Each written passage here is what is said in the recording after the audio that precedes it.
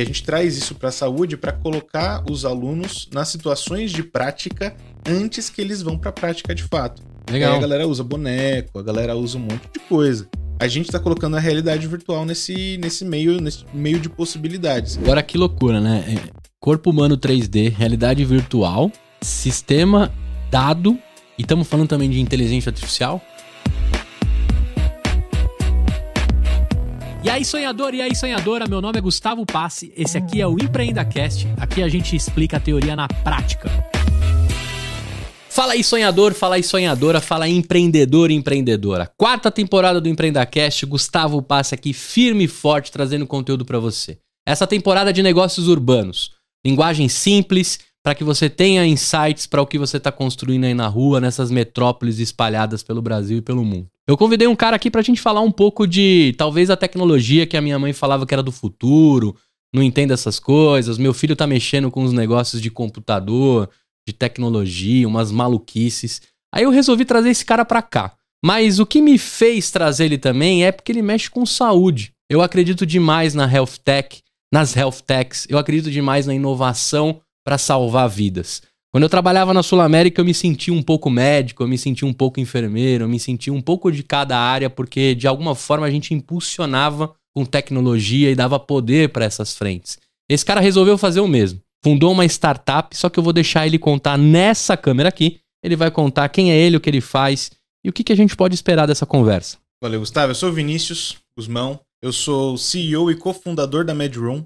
E na MedRoom a gente desenvolve experiências para treinamento em saúde usando realidade virtual majoritariamente. Vou comentar aqui algumas coisas que não são necessariamente VR, mas esse é o grande foco, é o grande métier do que a gente trabalha hoje. Legal. Quando você tá no churrasco lá, aquele sabadão, a tia do interior, faz sete anos que não te vê e fala assim: Vini, o que você tá fazendo da vida, menino? Como é que você explica para ela? Eu falo, tia, eu tô ajudando o aluno de medicina a virar médico. Eles têm que aprender mais rápido, têm que lembrar do que eles aprenderam por mais tempo e eles não podem morrer no processo.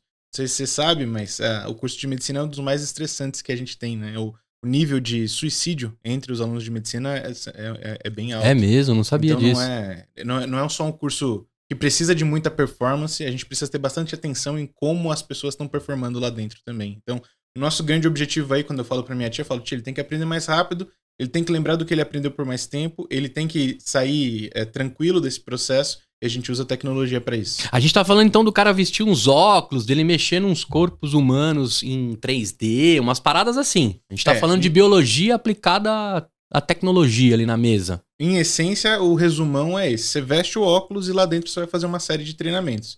E aí esses treinamentos eles vão de um range de desde anatomia, tem lá um dois pacientes na sua frente, o masculino, o feminino, o Max e a Lucy e você tem a chance ali de fazer uma dissecação nesse paciente, ver toda a anatomia dele, o nome das peças, conseguir ver relação entre as estruturas. Tem uma série de ferramentas para a sala de aula, inclusive. É, e além da anatomia, você também tem um raciocínio clínico. Tem simulações clínicas que você veste os óculos, pode atender um paciente ali dentro, um paciente virtual, faz tentar não falar os termos técnicos uhum. aqui. Não, não, mas a gente traduz, é. Mas fazer uma anamnese, exame físico. Anamnese o que é? Essa investigação quando você tá, quando você chega no, o consultório senta na frente do médico, ele começa a te fazer pergunta. O que uhum. trouxe aqui? Tem histórico de infarto na Exato. sua vida, né? Na sua, na sua família, né? Então a gente tem esse primeiro passo, esse passo a passo de investigação inicial, e na sequência a gente faz a, o passo a passo do exame físico. E esses casos que a gente vem construindo, eles vão ficando cada vez mais complexos, né? Hoje a gente está no que a gente chama de baixa fidelidade, uhum. e a gente vai caminhar para execução de casos até chegar em casos de alta de fidelidade, não, desculpa,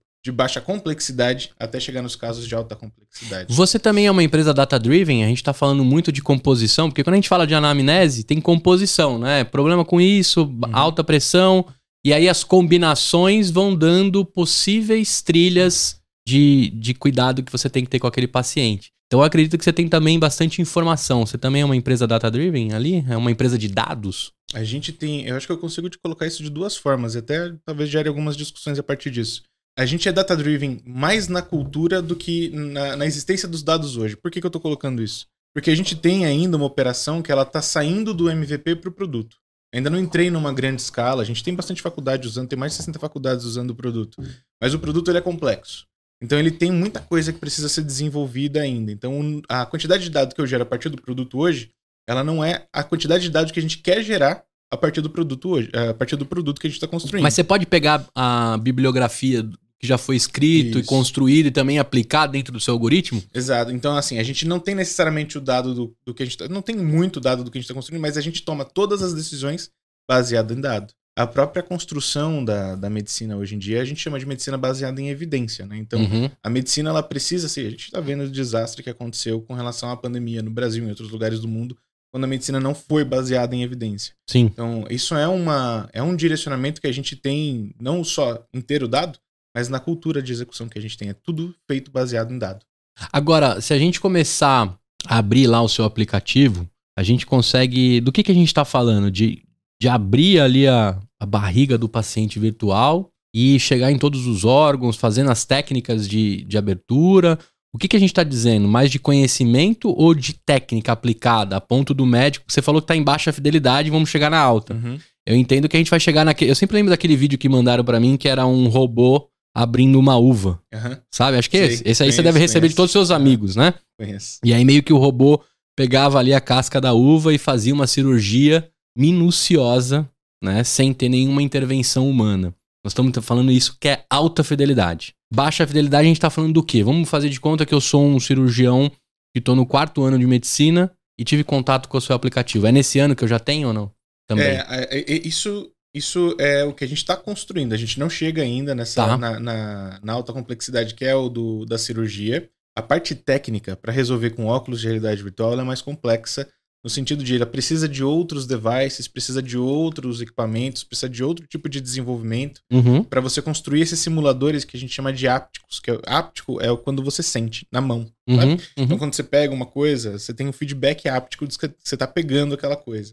No, no que a gente trabalha hoje, na baixa, na baixa complexidade, a ideia ela tá mais voltada para te apresentar três coisas: a forma das coisas, então como elas se parecem, a função delas, então como elas funcionam, e o raciocínio clínico que permeia essas, essas, Legal. duas, essas duas coisas. Então, o que, que, que, isso significa em termos práticos? Você vai conhecer um coração, então você vai vestir o óculos e você vai ver um coração humano lá dentro do, da Só que em realidade virtual. 3D. Em O 3D, livro, no máximo, tivesse- chegava em 2D, né? Isso. É como se ele estivesse na sua frente, de fato. Você tá aqui, pe- pega ele na sua mão, assim, olha de qualquer ângulo, deixa ele gigante, bota a cabeça lá dentro, vê o que, que tá acontecendo. Então, a- a- o nível de interação é esse. Só que esse coração, ele não tá lá estático, ele bate. Então, ele tem um coração, é a forma, ele bate, é a função, e aí a gente te coloca numa situação que é a seguinte, olha, o coração desse paciente aqui não tá funcionando. O que, que você vai fazer para ajudar? Isso é o que a gente chama de raciocínio clínico. E aí a gente entra Hum. nessa parte da investigação, dos casos clínicos, das habilidades e tudo mais. Não E aí tem gamification no meio. Tem gamification no meio. E a gente trabalha essa parte de gamification é, num nível bem diferente do que geralmente as- que a galera entende, saca? A galera geralmente ela chega e fala, putz, Spotify é uma plataforma gamificada de aprendizado. E é, de fato. Só que gamificação não é só a gente colocar a moedinha, colocar numa Sim. trilha. Tem outros aspectos de gamificação que a gente aposta, tipo narrativa, suspensão de descrença. Tem várias coisas ali que vão ajudar a gente a construir aquilo que eu falei mais cedo, do aprender mais rápido Uhum. e lembrar por mais tempo. Só que aí, diferente do gamification, se você erra, talvez você dá game over. No seu caso, não pode dar game over, porque game over é a morte do paciente, de repente, no, no, no Depende. desfecho clínico, né? Depende da intencionalidade do, do professor e da disciplina que você está. Pensa o seguinte, a gente pode, e a gente teve essa discussão quando a gente estava construindo simulação, né? A primeira simulação clínica que a gente fez era a seguinte: você vestia um óculos, tinha um paciente aí onde você está sentado aqui com, com relação a mim, e eu fazia perguntas para ela. Eu escolho perguntas a partir de uma lista de perguntas possíveis, e eu vou tendo um direcionamento de qual que deve ser o meu próximo passo. Agora que você fez isso, faça isso. Depois que Uhum. você fez isso, faça isso. Essas são a- as opções aqui na tela. Que qual das opções é a, é a que você identificou no paciente? Você escolhe uma das três. A gente está fazendo agora uma mudança de paradigma nesse sentido, que é o seguinte: ao invés de ter essas opções na sua frente, você vai ter que decidir antes de ver qualquer opção na sua frente o que você vai fazer. E isso tem uma Hum. mudança de paradigma do ponto de vista do aprendizado, que é antes naquela é quase como se fosse uma pergunta, perguntas e respostas objetivas ali do vestibular. Você tem lá Uhum. qual é a questão certa, A, B, C, D ou E. Você escolhe uma delas. A resposta tá ali. Você pode não saber qual é, mas ela tá lá. Uhum. A gente tá indo para um paradigma que é, você não sabe nem qual é a pergunta. O que, que você faz daqui diante desta situação e desta cena? O que fazer? Exatamente. E é aí que a gente tá colocando essa. essa... Por isso que o, o- o game over, talvez ele seja interessante para um determinado tipo de simulação. Para um determinado tipo num outro momento, talvez não. Sacou? Essa ideia da morte e tal. Depende muito do, que, que a gente tá querendo que você aprenda no final dessa experiência. Mas eh, aí, você acha muito loucura eu dizer porque você tá trazendo a residência antes da residência? Porque, teoricamente, na residência é quando você tem um contato com as situações Uhum, uhum. e meio que existe um humano te dizendo, mas ele tá esperando a sua atitude, né? Aí eu tô trazendo um pouco Sim. do que eu vejo do plantão médico, do House e do Grey's Anatomy. Quem for, né, é, amante dessas, dessas séries vai saber o que eu tô dizendo. Na residência ali, o contato que eu tive, eu nunca entrei numa residência pra ver o negócio acontecendo. Eu tenho Uhum. contato de Hollywood, né? Mas eu entendo que ali, estamos aqui com um cara num, clínico, num quadro XYZ, com pressão tal, sangramento em tal lugar. O que fazer daqui pra frente? Aí vai um monte de residente, né? Sugerindo lá, em acertos e erros, até que um acerta e fala: então beleza, você vai lá e faz. Quando você traz isso para um ambiente antes da residência, você tá preparando ali essas situações e meio que o cara já tá tendo um contato com a situação de decisão, só que ainda em Isso. máquina, né? E, e isso não. A gente não tá inventando isso, Uhum. não, Gustavo. Isso já é uma tendência na área da medicina tem vários anos. Tem uma coisa que chama simulação realística. A simulação realística ela veio da aviação. Quando um piloto ele precisa pilotar um avião, ele tem que ter várias horas de treinamento, várias. Alguns milhares de horas, se eu me lembro direito, de, de treinamento para ele con- conseguir pegar um piloto, um, um- pilotar um avião comercial. Então, para fazer o treinamento desses pilotos, o que, que eles fazem? Eles usam aqueles simuladores super sofisticados que reproduzem com bastante fidelidade o que acontece no avião de fato. Então você vai lá, treina várias horas de simulador para você poder entrar no avião. Trouxemos essa experiência da, da aviação, que foi muito bem sucedida, é só a gente parar para pensar na quantidade de acidente de avião que tem. É mínimo, é muito pouco. Uhum. É, e a gente traz isso para a saúde para colocar os alunos nas situações de prática antes que eles vão para a prática de fato. E aí Legal. a galera usa boneco, a galera usa um monte de coisa. A gente está colocando a realidade virtual nesse, nesse meio nesse meio de possibilidades. Aí ela vai ter alguns diferenciais ali. A gente tem um- uma coisa que, que eu acho que, que é legal comentar para ficar bem claro o- o- onde que a, virtual- a realidade virtual se encaixa nesse processo, que é a gente tem uma coisa que chama ensino ah, oportunístico e sistemático. Oportunístico é o que a gente tem quando você está lá no, na UBS, na Unidade Básica de Saúde, vai Uhum. fazer o atendimento de um paciente, você não sabe quem é, você não sabe qual, qual vai ser.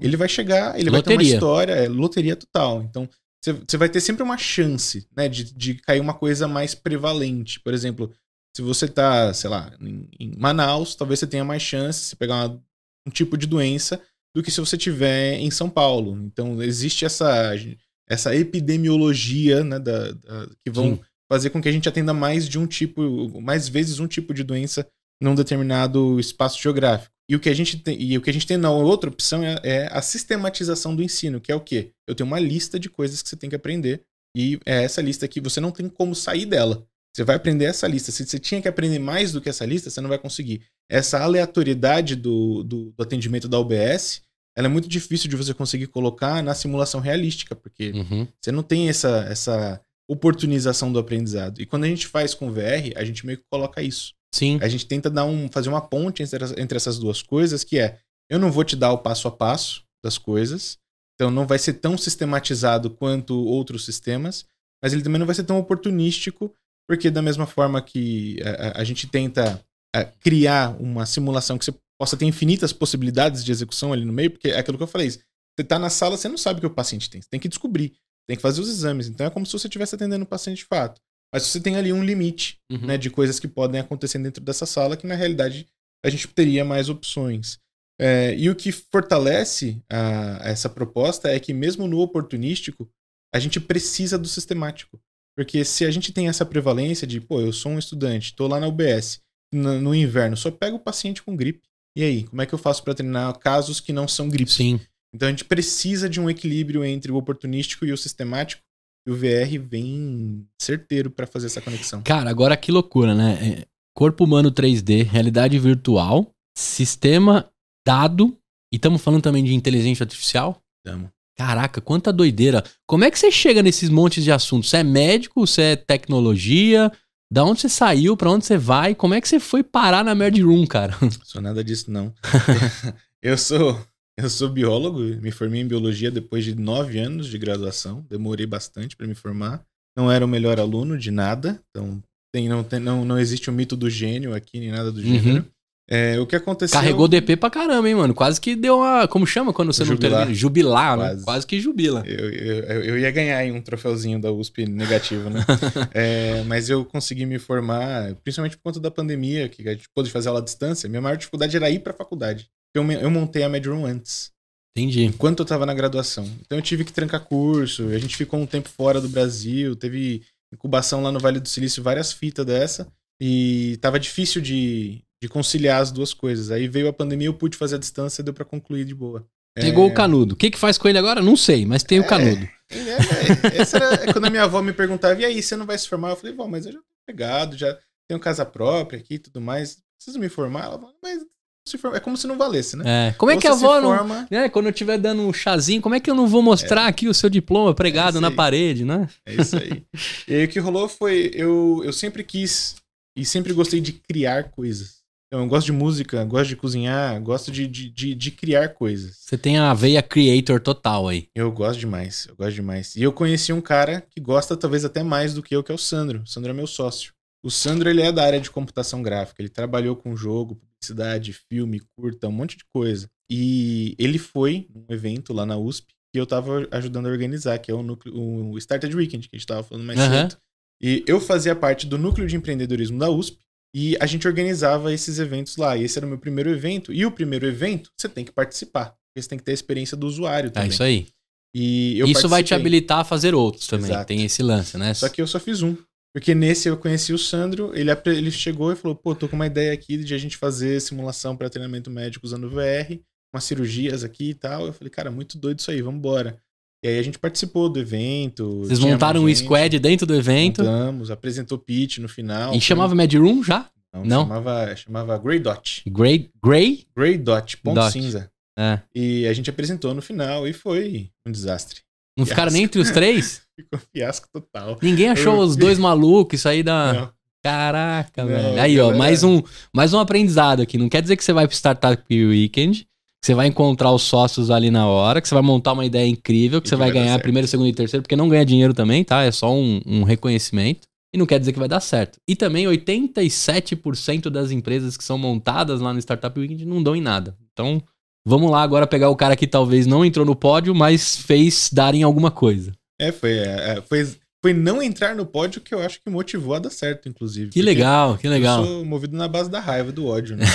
e aí, o negócio foi muito doido, porque a gente apresentou, e aí um dos investidores que estava na banca chegou e falou: Olha, eu entendi que vocês têm um problema, né? Um mercado, uma... mas eu não entendi o que vocês querem fazer. Tá zoando. Beleza. E aí eu fui pra casa, comecei a escopar e descrever tudo, porque eu, eu tinha ficado feliz com o resultado do trabalho que a gente fez. E aí eu refiz a apresentação todinha, deixando as coisas mais claras, coloquei tudo no papel, liguei pro Sandro e falei, seguinte, quero continuar o negócio aqui, vamos? Ele falou, vambora, pô. E aí a gente foi.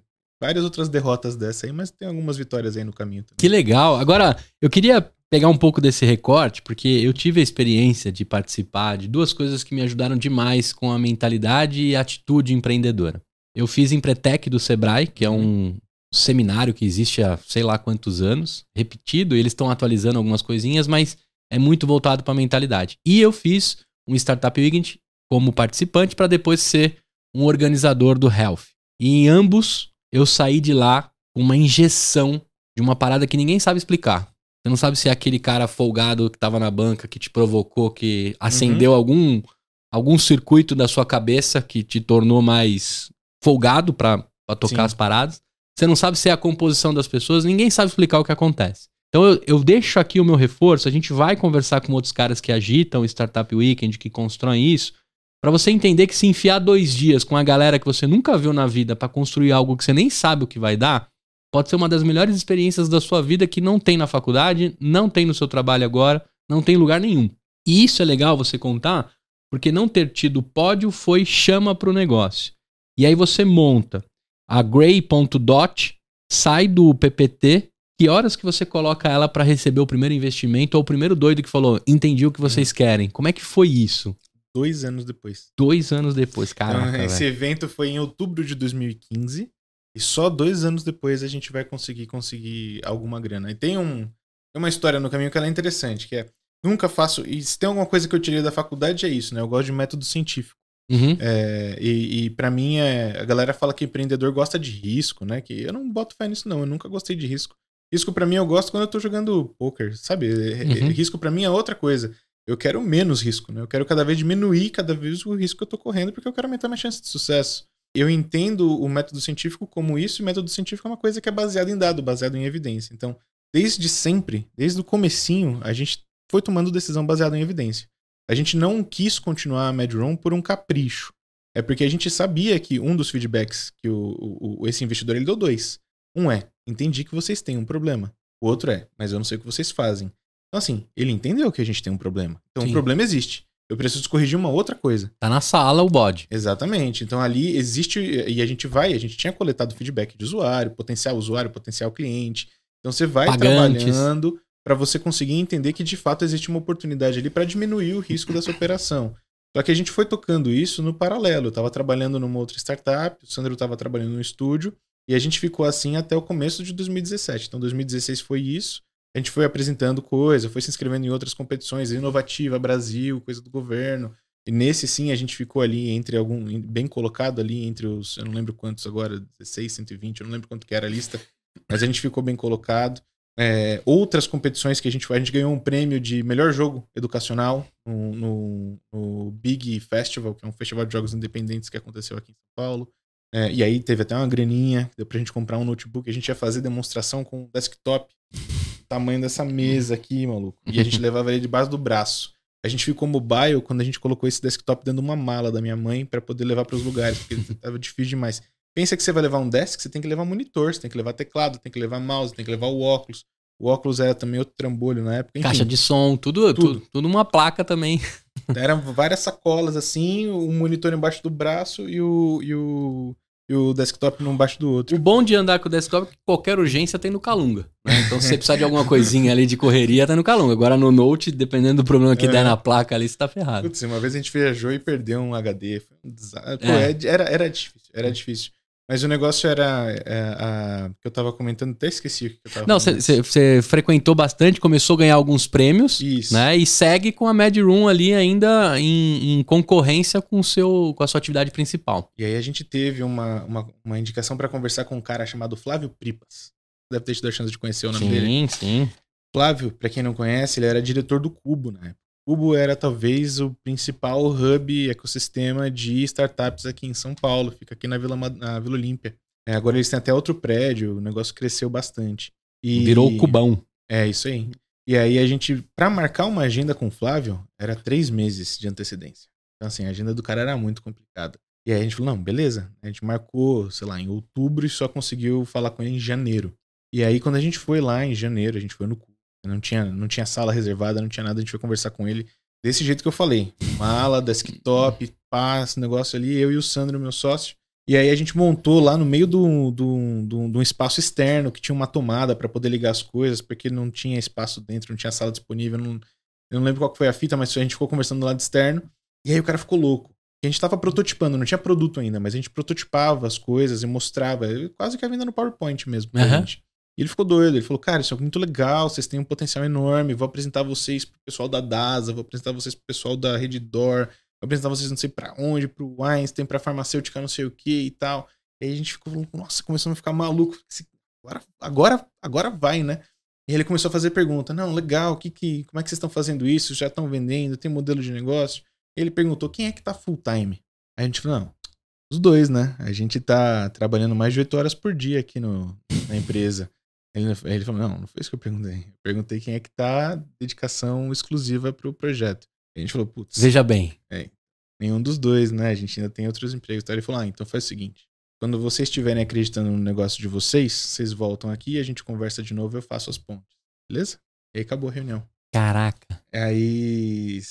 Acho que. Montanha russa. De... Nem dois meses depois, eu saí uh, da empresa que eu trabalhava. Eu trabalhava numa empresa chamada Pluricel. Uhum trabalhava com biotecnologia. E aí eu bati lá na porta do Sandro, eu fui demitido dessa empresa, uma série de problemas que a gente teve lá com Visa e tudo mais, era uma biotech, então tive, acabei sendo desligado, não foi nenhum não foi nenhum uma, uma decisão voluntária minha para chegar falando, não, eu fui corajoso, porque uhum. depois do feedback não teve nada disso não, mano. O negócio foi, o cara chegou, mandou essa, um mês depois já tava rolando várias coisas lá na empresa. A galera chegou e falou, putz, não vai dar pra gente continuar. Aí eu fui lá no estúdio do Sandro, aqui no Sumaré, bati na porta lá e falei: Seguinte, meu irmãozinho. Tô full. Ou eu vou, ou eu vou procurar outra fita. E aí ele falou, não, vamos embora, na hora. Ele nem pensou duas vezes. E o Sandro, diferente de mim, eu tenho 30. O Sandro tem 42. E dois meses depois ele descobriu que a esposa estava grávida. De, que ele saiu do, do estúdio dele. Uhum. E aí, montanha russa maluca, surreal. Mas a gente fez esse movimento. Eu saí fora, ele saiu fora também um mês depois e a gente começou a tocar a parada. E o pior, ou melhor, o melhor é que deu certo. Cara, vamos fazer uma pausa? E eu acho que tem uma mensagem muito importante aí do momento que vocês passaram. Primeiro, o salto de fé. Não é um negócio fácil. Né? Você teve um empurrão Uhum. pro salto de fé. Mas naquele momento que o Pripas fala assim, cara, opa, ideia boa, modelo de negócio legal, tenho muita conexão para fazer, mas os vocês não estão dentro do negócio. Eu queria tirar alguns aprendizados desse momento. Uhum. Quando a reunião azedou, como é que foi ali o, as- os minutos seguintes depois que o Pripas pegou as coisas dele e foi? Como é que foi você e o Sandro ali? Eu queria tirar o aprendizado daquela, daquele momento e dizer assim, mano, se a gente não tá 100%, a gente não acredita. Também não vou largar um negócio quentinho, uma graninha que cai todo mês. Eu queria que você tirasse um recorte, lógico, com a sua, com a sua perspectiva, pra quem tá exatamente nesse momento, dividindo, jantando duas vezes, almoçando duas vezes, trampando 17 horas por dia. Como é que foi dali pra frente, até você ter a notícia da, da Pluricel que não rolaria, mas como é que a sua mente agiu até o dia da, do tchau? Não foi fácil, né? não foi trivial. A conversa foi muito boa. Eu, eu- eu- dei uma boa resumida aqui, Aham. mas o Pripas ele foi super simpático, super solícito. Ele falou desse jeito de fato. fra- essa frase, quanto vocês não acreditarem, eu não vou acreditar também. Ele falou isso de fato. Mas a, a conversa em si ela foi muito construtiva. Então ele fez essa. Não sei se pode chamar de uma crítica, mas ele fez essa observação de uma forma que colocou a gente pra refletir. E quando acabou a reunião, a gente olhou um pra cara do outro e falou: tá certo, pô. Tá ligado? Ele tá certo. Por que, que ele vai. É lógico que entram várias questões, né? O, o, o que tá em jogo pra gente perder, comparado com o que tava em jogo pra ele perder nessa conversa, é outra fita. É Uhum. o- é- é- não é ele que vai entrar de cabeça. O risco dele indicar uma empresa que não vai dar certo é diferente do risco da gente abandonar tudo numa Sim, empresa que não vai dar sim. certo. Só que ao mesmo tempo, é, eu, não, eu, não sei, eu não sei também se foi tanto assim um salto de fé. Sabe por quê? É. Porque a gente estava vindo num movimento que tinha evidência que apontava que a gente tinha alguma chance. Os dados já diziam o caminho. A gente é a mesma coisa do, do primeiro do primeiro investidor que eu comentei lá em 2015. O cara falou: vocês têm uma oportunidade, mas vocês não sabem o que vocês têm que fazer. A gente foi aprendendo o que a gente tinha. Nessa conversa com o Pripas ficou claro que, pô, a gente achou o que a gente tem que fazer. Só que tá faltando alguma coisa ainda. E aí faltava isso. E nesse paralelo, a gente já tava começando conversa com o investidor, tava com- já tinha ganhado prêmio, já tinha. Então, assim, a gente conseguiu reduzir o risco bastante para quando essa decisão foi. Essa decisão de da gente continuar a ser tomada, é, eu acho que ela foi quase que natural, saca? Não foi um negócio tipo. A se fudeu, Então vamos. vambora. Foi um negócio de tipo, beleza, a gente vai ficar um, um ano sem grana, sem receber absolutamente nada É isso que eu ia como é que a perguntar. gente como é que a gente vai trampar, tá ligado? Como é que a gente sobrevive? Então aí vem um, a gente até comentou mais cedo também antes de gravar até do planejamento, tá Sim, ligado? rolou umas Foi reservas. ali que foi ali que a gente chegou e falou, puta, então vamos planejar essa fita. Como é que vai rolar essa parada? Tem tem, tem previsão do investidor para aquela data? Era pro final, é, na verdade era para abril e era que tipo três meses depois talvez a gente já estivesse recebendo um aporte. Não rolou. É, mas existia, tá ligado? Uma perspectiva de conseguir desenrolar. Mas vocês trabalharam por um cheque, porque não tinha receita ainda. Não tinha receita. Vocês tinham uma boa Não ideia, um problema definido e um caminho pra seguir. E não tinha produto. E vocês iam atrás de um cheque, de fato, Uhum. de um investidor. Naquele momento vocês tinham o quê? Ainda o MVP que foi feito lá no Startup Weekend. Nem MVP a gente tinha. Ah, O que a gente tinha, não, é, é- é- não posso chamar de MVP porque ele não é comprável. Ele não era um produto. Ele era uma. uma tese. protótipo. Uma- Protótipo. Você tem lá uma protótipo. aplicação, você veste o óculos, você vê as coisas. Você vê a anatomia, você tinha a gente uma sala clínica, que você conseguia ver uma sala de cirurgia. Mas você não, não tinha função ainda. Não, não dava para o aluno aprender com aquilo ali. Só tinha eu e o Sandro na, na empresa na época. Então a gente conseguiu arranjar um dev só. três meses antes dessa conversa com, com o Pripas, a gente conseguiu arranjar um dev para trampar com a gente. E aí a gente conseguiu desenrolar um. avançar um pouquinho no protótipo. Mas produto mesmo? Tinha. É produto complexo, mano. É diferente de fazer, por exemplo, um, com todo respeito e dadas aqui Uhum. as proporções, mas é diferente de você fazer um app, tá ligado? Que é uma tecnologia conhecida, que talvez uma pessoa só consiga executar do começo ao fim, que o, o próprio modelo de negócio ele é mais conhecido do que o nosso no sentido de, maluco, quem sabia que era realidade virtual em 2017? É, então você tem um lance de cultura ainda, né? Fazer É. o cara vestir um óculos hoje tá mais tá mais puro pra mim, porque vivi dentro dessa bolha. Então se eu ver um cara no shopping agora com um óculos, eu acho aquilo normal. Minha mãe Uhum. ainda acha que ele tá viajando no espaço, que é um negócio muito distante, né, é, do popular. Ainda é. Né? Né? Mas, mas eu, eu- aposto que talvez ela saiba o nome. Não, já sabe, ligado? já sabe. Ah, Depois que o Facebook. Se teve uma coisa que mudou com esse papo de metaverso, é que agora a galera, pelo menos, sabe Sim, da existência sim. das coisas, saca? É, rolou um forceps assim, cara, ou Uhum. você se atualiza do que tá chegando, ou É. se atualiza. Não tem mais como né, sair dessa. Uhum. Mas eu entendo também que ali vocês estavam mexendo que- com algo que também reduz o número de pessoas que colocariam dinheiro nisso, porque ainda é muito novo. Demais. O cara tem que ser valente ali, corajoso. Né? Acho que a palavra é corajoso, É. corajosa, né? E, e como é que vocês seguem? Vocês continuam, continuam a, a, a tese até o cheque. Como é que foi essa jornada e quem que encarou colocar um dinheiro antes de ter receita? A gente tinha em- na, na nossa cabeça que tem que funcionar mesmo sem o cheque. Então a gente não tava trabalhando para conseguir dinheiro de investidor, sacou? E, e a gente vê isso acontecendo com várias startups. Tipo, ah, preciso aqui ajeitar meu pitch, que é minha, meu, meu deck aqui, minha apresentação para mostrar para o investidor para conseguir a grana dele. Não é grana de investidor que dá dinheiro pra gente enquanto empreendedor, tá ligado? Uhum. O que, o que tem que fazer o negócio virar é grana de cliente, pô. Então a gente tentava enxergar como é que a gente ia fazer para virar grana de cliente. Nesse processo de como fazer isso, a gente ia apresentando para os investidores. Então eu não estou trabalhando para o investidor para conseguir um investimento, eu estou trabalhando.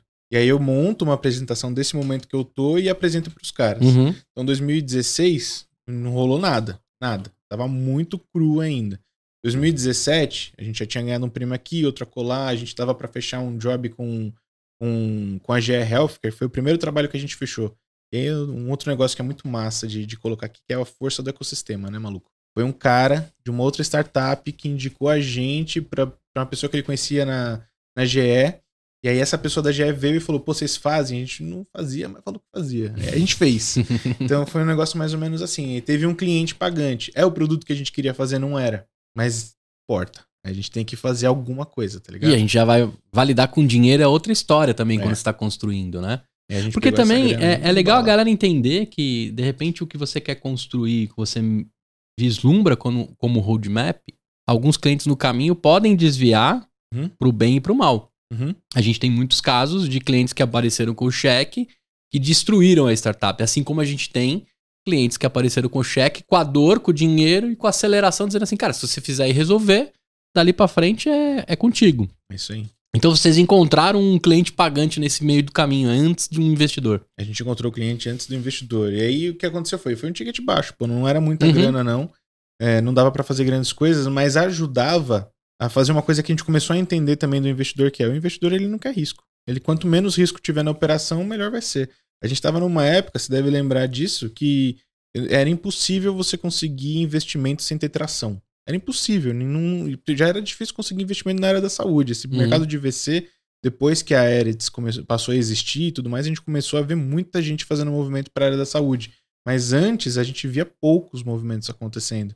Então, assim, a grana disponível e o apetite pelo investimento estava muito voltado para fintech, para marketplace, para coisas que estavam nessa linha hum, mais seguras, entre várias aspas. Eu, a gente até brincava entre os empreendedores aí, eu sei que deve ter um investidor ou outro ouvindo a gente aqui, Hum. é bom que vocês ouçam mesmo, que é investidor brasileiro de venture tem muito pouco, tá ligado? Uhum. De venture tem muito pouco, porque a, a, a, a fita, a vontade de investir em coisa nova, de fato, é, é risco, né? E a galera, Sim. é o que eu falei, ninguém quer risco, nenhum empreendedor quer. Então, teve, teve que achar, um, a gente teve que garimpar bastante, tiveram dois que apostaram. Uma aceleradora no Rio Grande do Sul e o Einstein aqui em São Paulo. Aceleradora do Rio Grande do Sul é a Darwin ou não? Não, é a Grow Plus. Grow Crescimento, isso. Plus. E nesse, nesse primeiro cliente que vocês tiveram, você começa a ter uma relação diferente, né? Você tá ali dentro do campo da construção da ideia, da tese que vocês estão seguindo, e aparece um cara com dinheiro na jogada. Da mesma forma que ele promove, ele destrói, que a gente falou. O que, que foi o projeto? Ele desviou muito do caminho? Ou ele ajudou ali vocês a construírem a tese da receita, né? Como é que Uhum. foi isso? Ele ajudou, ele ajudou a construir a tese. A gente tinha um negócio que era o seguinte: no nosso entendimento era, se eu prestar um serviço para uma empresa, o que eu fiz para essa empresa, eu vou usar no meu produto principal. Essa, esse era o, a, a tese que a gente estava trabalhando naquele momento, porque o produto para a gente ser startup, ele tem que ser escalável. Se eu estou prestando serviço para as empresas, para cada empresa eu faço um produto, eu não estou num, num, projeto escalável. Eu tenho um, uma, uma, necessidade de ficar investindo toda vez que eu vou fazer um serviço. Então, eu preciso diminuir esse investimento aqui para fazer novos negócios. Então eu não posso ficar. Eu não, eu não posso gostar de ficar prestando serviço, porque isso vai me desviar do caminho da escala da startup. Então a gente tinha isso em mente. Então, qual era a fita? Eu vou prestar o serviço, beleza, mas eu preciso reaproveitar o que eu vou que eu vou desenvolver no produto principal. Tá. Então, coisas que a gente não abria mão, propriedade intelectual, modelo que a gente usa, essas coisas, tem que ser tudo nosso. E as empresas, elas, no geral, elas concordavam. A gente teve duas ou três que não, que não concordavam, porque a fita delas era: eu quero um, um, uma experiência para usar em realidade virtual para usar num evento. E era pontual, saca? E esse que a gente construiu foi, pra, foi exatamente isso: era um congresso de radiologia e a gente tinha que mostrar uma máquina de ressonância como qual era o diferencial dela com relação à máquina de ressonância mais antiga que eles tinham. Era, eles, tão, eles vendiam um serviço de upgrade de máquina de ressonância. 600 mil dólares, o upgrade da máquina. E aí a gente tinha que mostrar o que, que mudava, né? E a grande sacada dos caras é, fica lá o magneto gigante, o core, e tudo que é periférico os caras trocam. É, e a gente tinha que mostrar isso no VR. Entendi. E a gente mostrou, deu super certo. Em vez de fazer de humano, vocês fizeram de aço.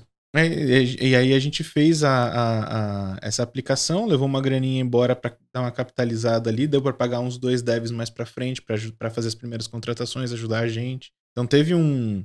Usamos muito pouco no fim das contas dessa aplicação para o produto final, usou pouco. Uhum. Mas em termos de validação da tese, era na área da saúde, era, sim, tá ligado? Sim, então ele, ele, tinha ali uns elementos que ajudaram a gente a validar o que a gente estava propondo. E também o track record que a gente fala tanto, né? Ajuda na hora de você uhum. se apresentar e dizer assim, cara, já teve um cara pagante, não era especificamente disso, mas o nosso core, né? O Sandro como estúdio, você como cara que está construindo e sabe a biologia, né? A complementariedade dos sócios, mais uma tese feita, uhum. mesmo que não era um corpo humano e sim uma máquina, tá resolvido, né?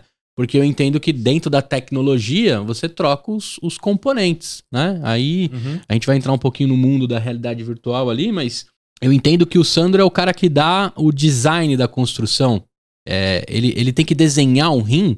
É, é esse cara ou é um dev? Vamos entrar um pouquinho no, no, no detalhe, assim, mas se você for fazer um, um corpo humano, da onde saiu o coração? Isso vem de uma biblioteca? Como que é que faz isso no mundo da realidade virtual? É complexo, não é, não é trivial não, mas uh, eu vou tentar resumir para ficar claro em pelo menos duas coisas. Uhum. Tem que ter alguém que faz o modelo e tem que ter alguém que vai dar vida para esse modelo. Vida no sentido de eu preciso que esse coração seja pegável, eu preciso que esse coração ele apareça num lugar, numa Entendi. cena, tá tem que ter uma programação. Entendi. Então eu preciso de pelo menos um modelador 3D, é um cara que vai pegar softwares do tipo é, ZBrush. ZBrush é um software de modelagem 3D. Você começa lá com uma bolinha cinza e vai esticando ela até ela ficar com o formato das peças que você quer que sim, ela tenha. Sim.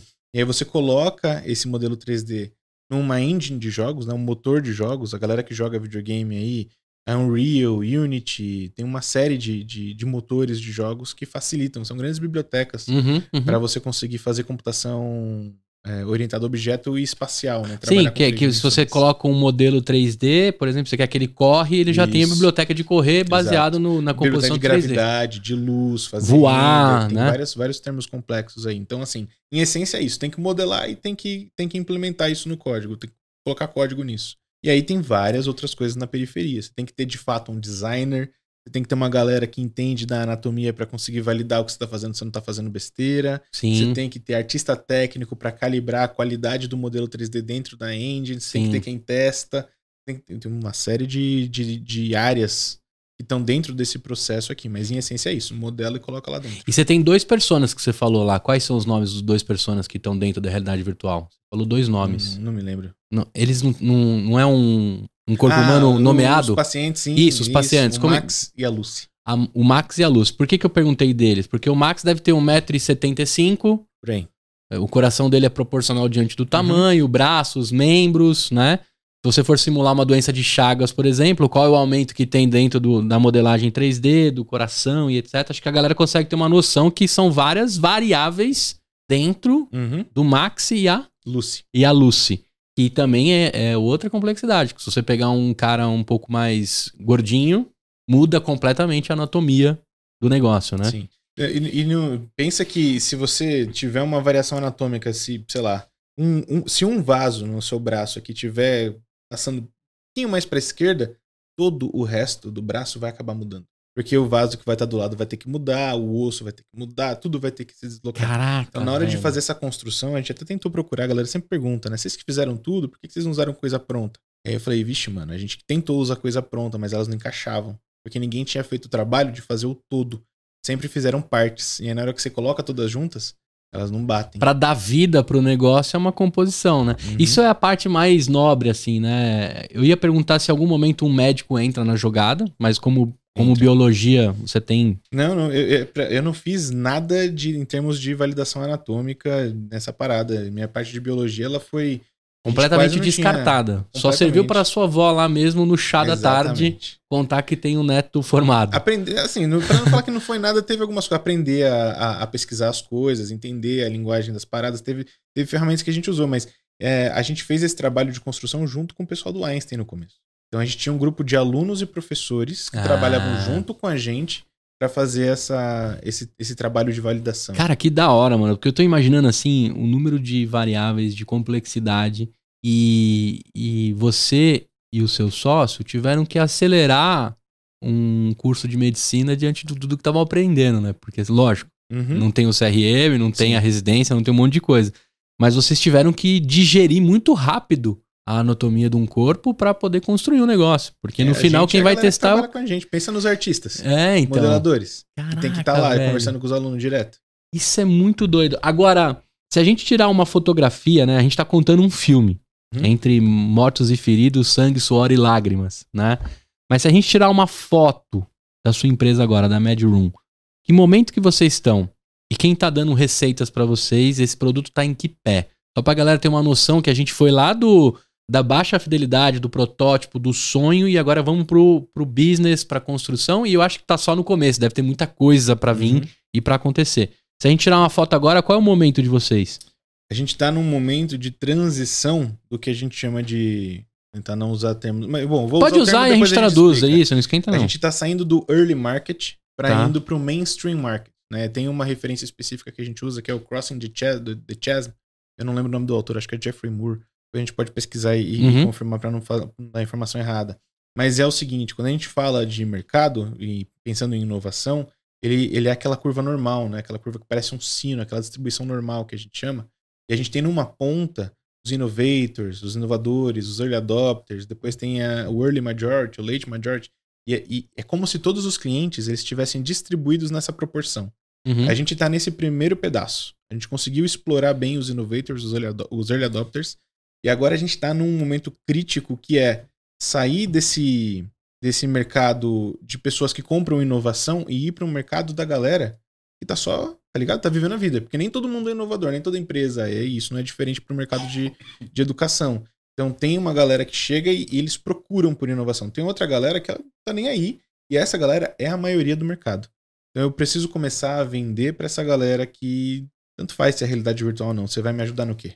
Saca? É mais ou menos nessa linha. É, eu quero que- pegar na prateleira você e colocar dentro da minha empresa. Isso, É, é nesse sentido. Esse, é o, esse é o ponto que a gente tá. Então tem cliente usando, tem galera pagando, mas a gente, para chegar, a gente tá para entrar de fato no mercado mainstream.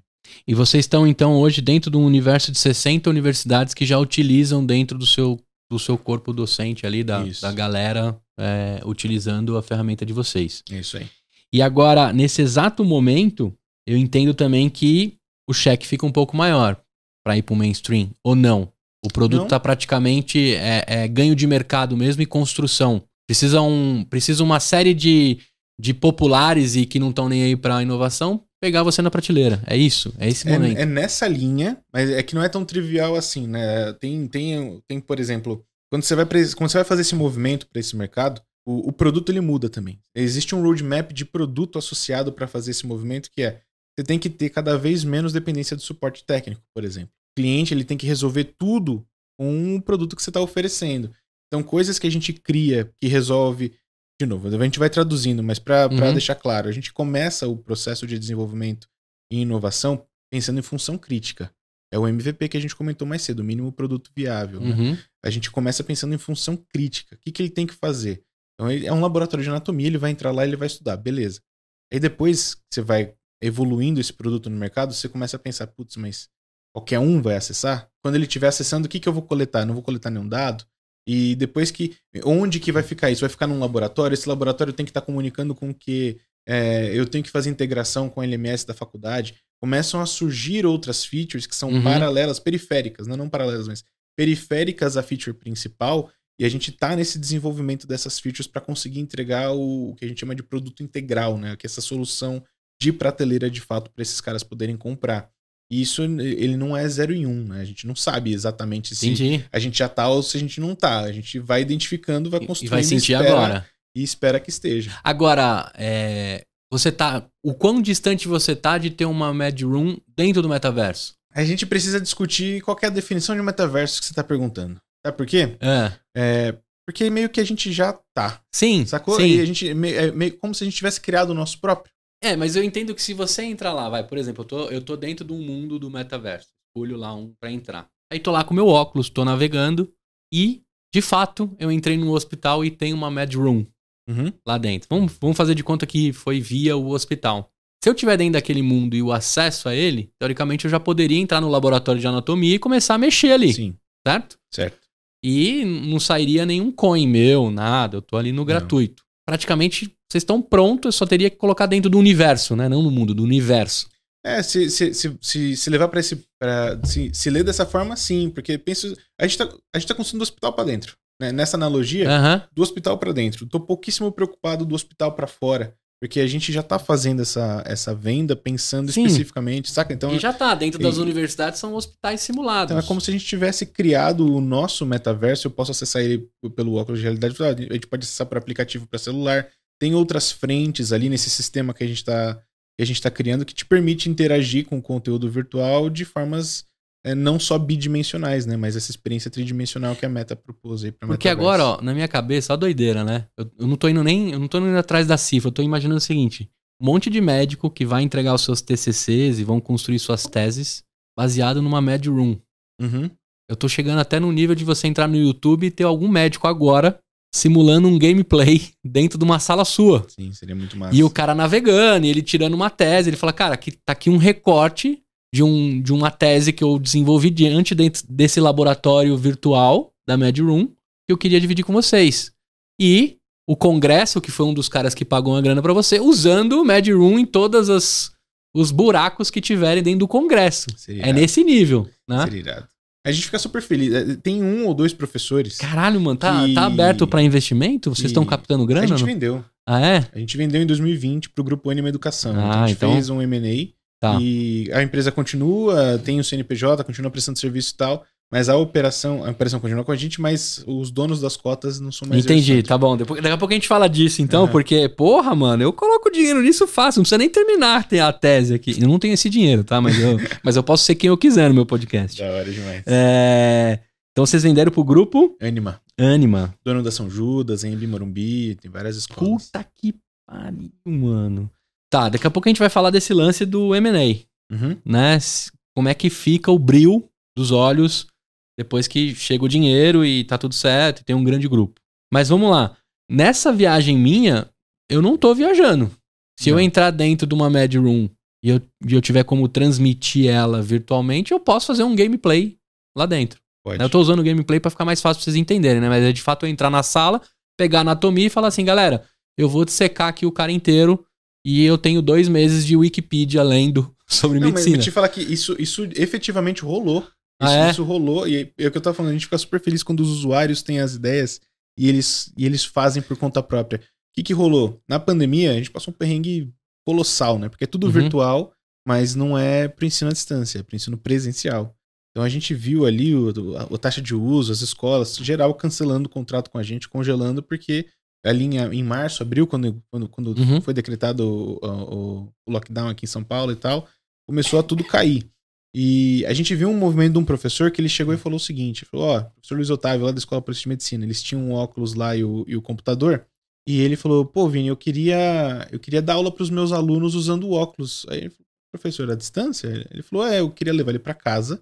E quando eu tô com óculos no rosto, tudo que eu tô fazendo aparece na tela do meu computador, não aparece? Aparece. É, e eu não posso transmitir essa tela via Zoom? Pode. Eu falei, então, é isso que eu quero fazer. Eu falei, vambora, pô. Manda bala. E aí ele fez essa experiência, ele legal, gravou mano. essa aula pra mandar pra gente pra ver como é que ficou. Foi muito massa, cara. Foi- assim, é, pensa que era um momento onde todas as aulas estavam sendo aquele PowerPoint zaço. Sim, um aquela monte cara de de, zoom professor. chata do caraca. Os professores que não sabiam ainda usar direito a parada, aquele galera bem professoral falando é, pausado, lento, pra você, não dá nem pra assistir em 2x porque é ao vivo.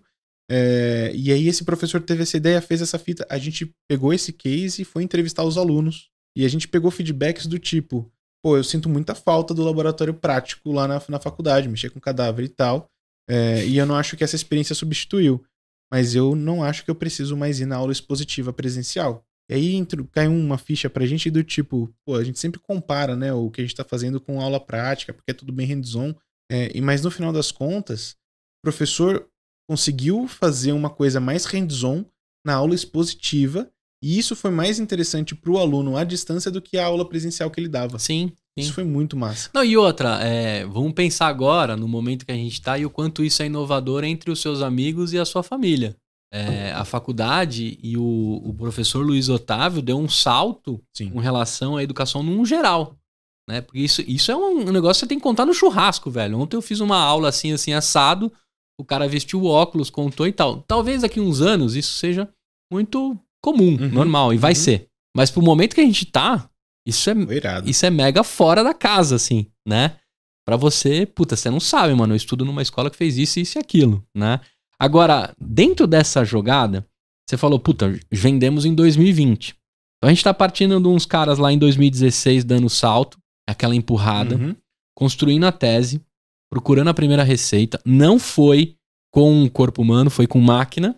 Conseguiram a grana, conseguiram os desenvolvedores e foram seguindo na construção de algo que, é, dentro do mainstream, ainda não teria aderência, que vocês vão testar agora. Como é que chega alguém em 2020 e compra? Só pra galera entender o que vocês estão mexendo e o potencial de grana, de inovação e de diferenciação do produto de vocês, que não necessariamente não precisa ter 2 milhões de clientes pagantes. Tinham Uhum. 60 faculdades utilizando, algumas vocês devem ter feito até permuta, cortesia, alguma Sim, coisa. rolou. Só pra galera entender, em 2020, como é que esse grupo chega e fala assim, cara, isso é muito sexy o suficiente, tem futuro e eu quero botar um caminhão de dinheiro ou um dinheirinho ali pra isso acontecer.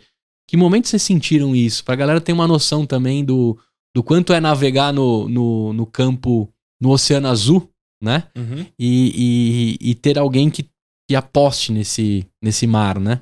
Primeira coisa que eu tenho que dizer e deixar bem claro é que não é por acaso.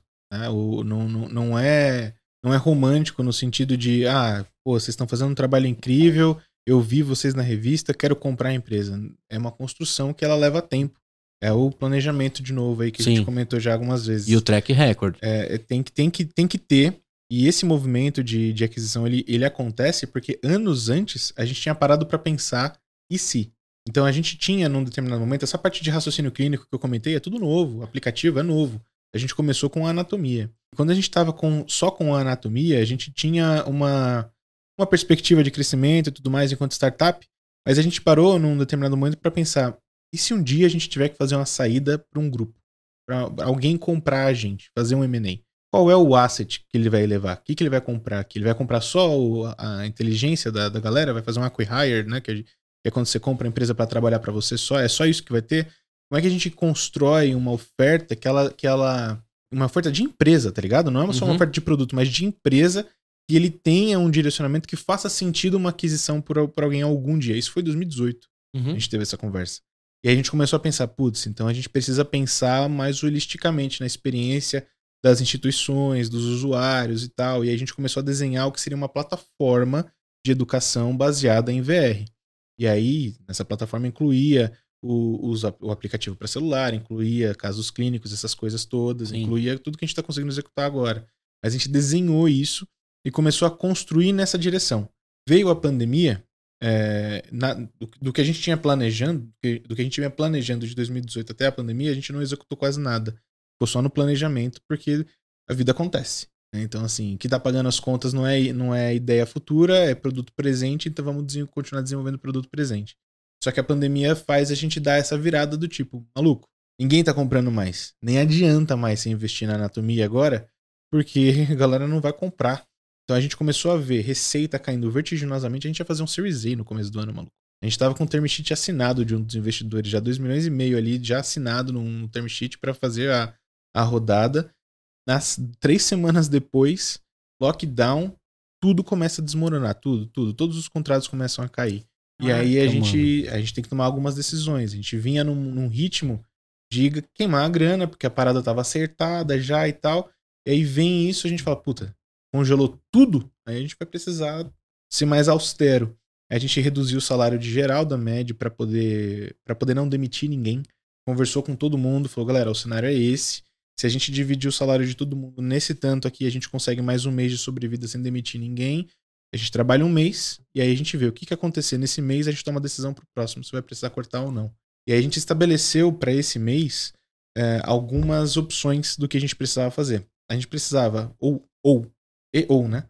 Um, fazer venda nova. Uhum. Difícil, mas era possível, ainda mais depois da ideia do professor Luiz Otávio, que foi exatamente nessa época. Ao mesmo tempo que as vendas caíram, a galera começou a procurar muito mais a gente. A galera passou a jogar no Google anatomia, realidade virtual, porque não tem nada pro momento que estava se vivendo. E a Uhum. referência no momento era a gente. Então a galera chegava na gente perguntando: o que, que vocês têm que eu posso usar aqui? E aí a gente falou: pô, esse professor fez isso. Talvez você consiga fazer aí na sua faculdade também. Então, assim, deu um gás ali pra gente tentar fazer uma venda. Uma outra coisa, fazer o desenvolvimento de um produto novo que esteja adequado a um novo cenário que a gente está vivendo. Então a gente pensou, dentro das ideias que a gente já tinha, Uhum. o aplicativo que, que, tava, que ia ser desenvolvido, ele casava 100%, porque ele tinha uma relação com o material na- no, no ensino presencial, o VR, que ficava lá na faculdade, só que o aplicativo é a possibilidade do aluno acessar esse material na casa dele. Então é como se a gente estivesse pegando o laboratório de anatomia da faculdade e colocando na casa dos alunos. E a gente falou, pô, isso aqui tem que ir pra frente, vamos tentar vender o projeto de desenvolvimento desse app pra gente conseguir levantar essa grana nesse período. Tem que voltar às conversas com o investidor pra gente conseguir avançar a nossa, a nossa captação que tava rodando. E até mostrar a adaptabilidade do- da situação. Então a gente falou com um monte de gente, fez, assim, na primeira semana, marquei reunião com todo mundo que a gente conhecia, de investidor, cliente, tudo, pra fazer um. pra sentir o que, que essa galera tava pensando. E ninguém sabia pra onde ia, né? Ninguém tinha passado por uma situação dessa. Então foi bem interessante. É, mas a gente chegou e falou: não, beleza, ninguém sabe, não significa, que- não significa um não. Significa um não sair. É. Então a gente vai continuar tentando. É, e aí a gente levantou uma última opção que foi: se nada der certo, a gente tem que vender esse negócio. Porque a gente não vai deixar ele morrer de jeito nenhum. Então, assim, é, a, a venda era a última opção, mas a gente queria que ela fosse uma, uma opção possível. É, e, e aí a gente foi trabalhar. Vender no sentido de entregar esse produto que a gente gosta tanto com alguém que tenha capital suficiente para dar continuidade. Exato, não morrer, não morrer por, por força do nosso capital Exato. pessoal. No final das contas, grana, fluxo de caixa, por mais que você tenha uma empresa boa, se você não tiver isso organizado, não tiver uma saúde financeira, é difícil de ser Sim, de sim. muito longe. Então a gente estabeleceu essa, essa, esse- esses, esses critérios. Todos eles deram certo. Todos eles. Que legal. Então a gente mano. não precisou demitir ninguém, a gente ficou com salário reduzido por três meses. No terceiro mês a gente já estava voltando à normalidade. E a gente conseguiu vender. A gente conseguiu desenvolver um produto novo, o aplicativo. O aplicativo que a gente desenvolveu, ele, ele foi mais escopado, né? Porque a gente precisou vender o desenvolvimento dele. Para alguém pagar pelo desenvolvimento. Não tinha um aplicativo pronto para vender licença. Então a gente fez ele junto com o Incor. E deu pra gente levantar uma grana, a gente ganhou um prêmio com esse aplicativo. De mais uma, um, um prêmio com uma grana boa, inclusive, da Agência Brasileira de Desenvolvimento da Indústria.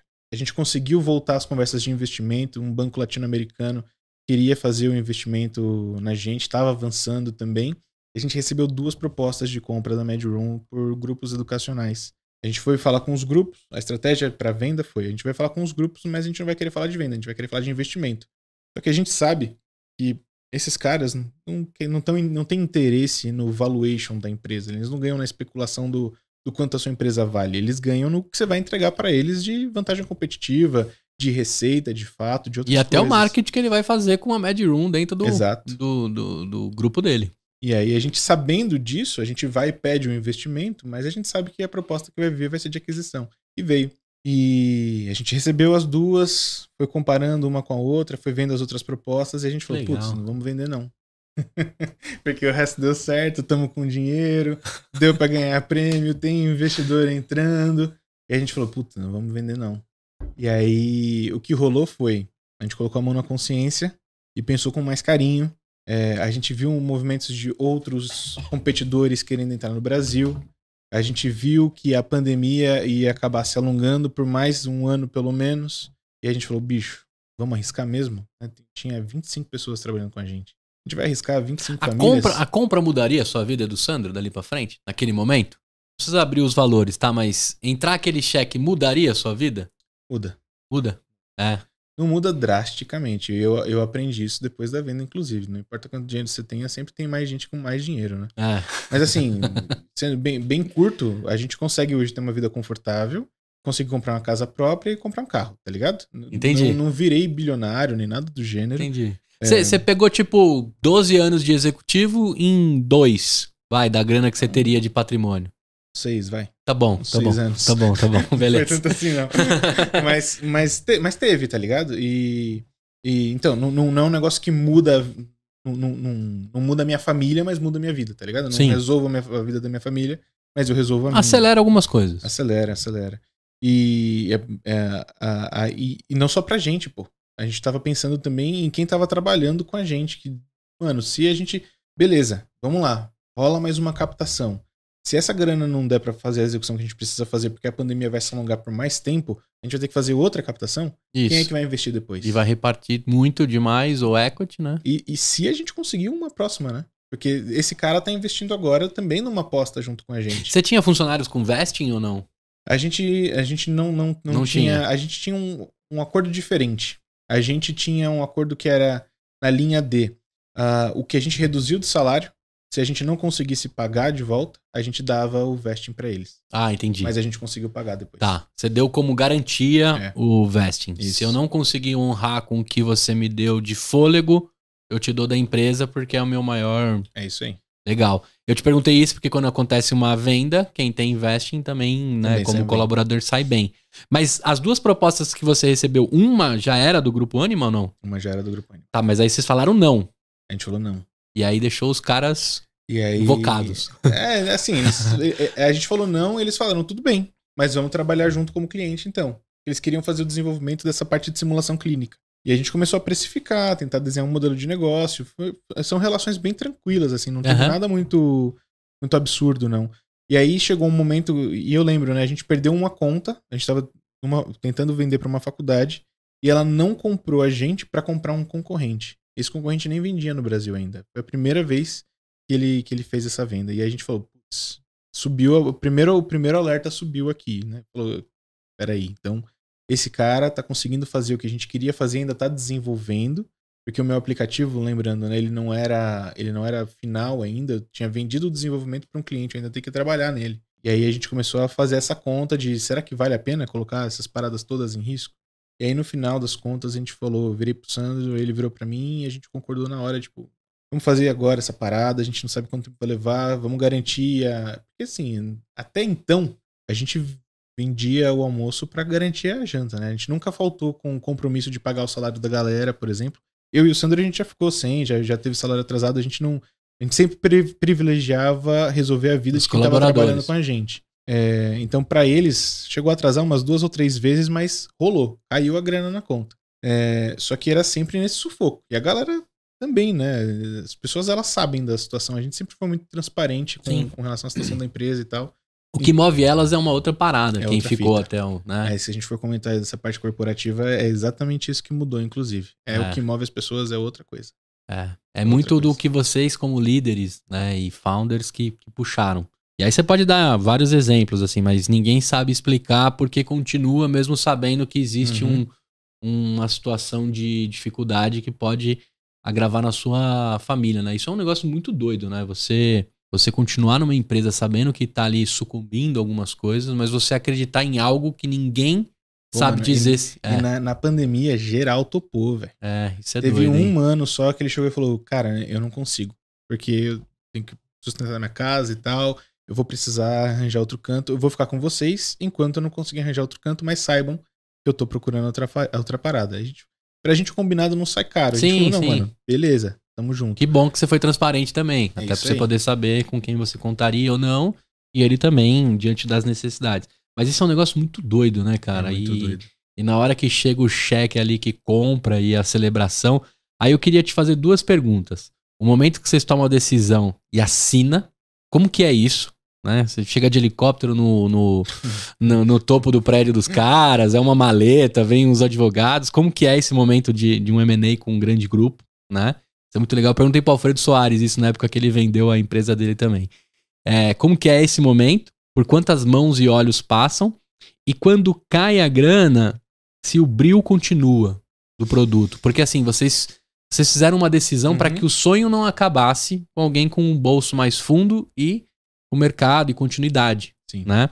Mas como é que você se mantém vivo pela ideia, né? Porque o cara da Anima também comprou um pouquinho do Vini e do Sandro. Sim. Como que é isso? Não, assim, é, de novo, mais uma vez, não, não, não, não, não é nada tão romântico quanto a gente faz soar quando a gente resume as histórias, né? É, é um processo. Então, a gente tinha, comentei, a gente tinha duas propostas.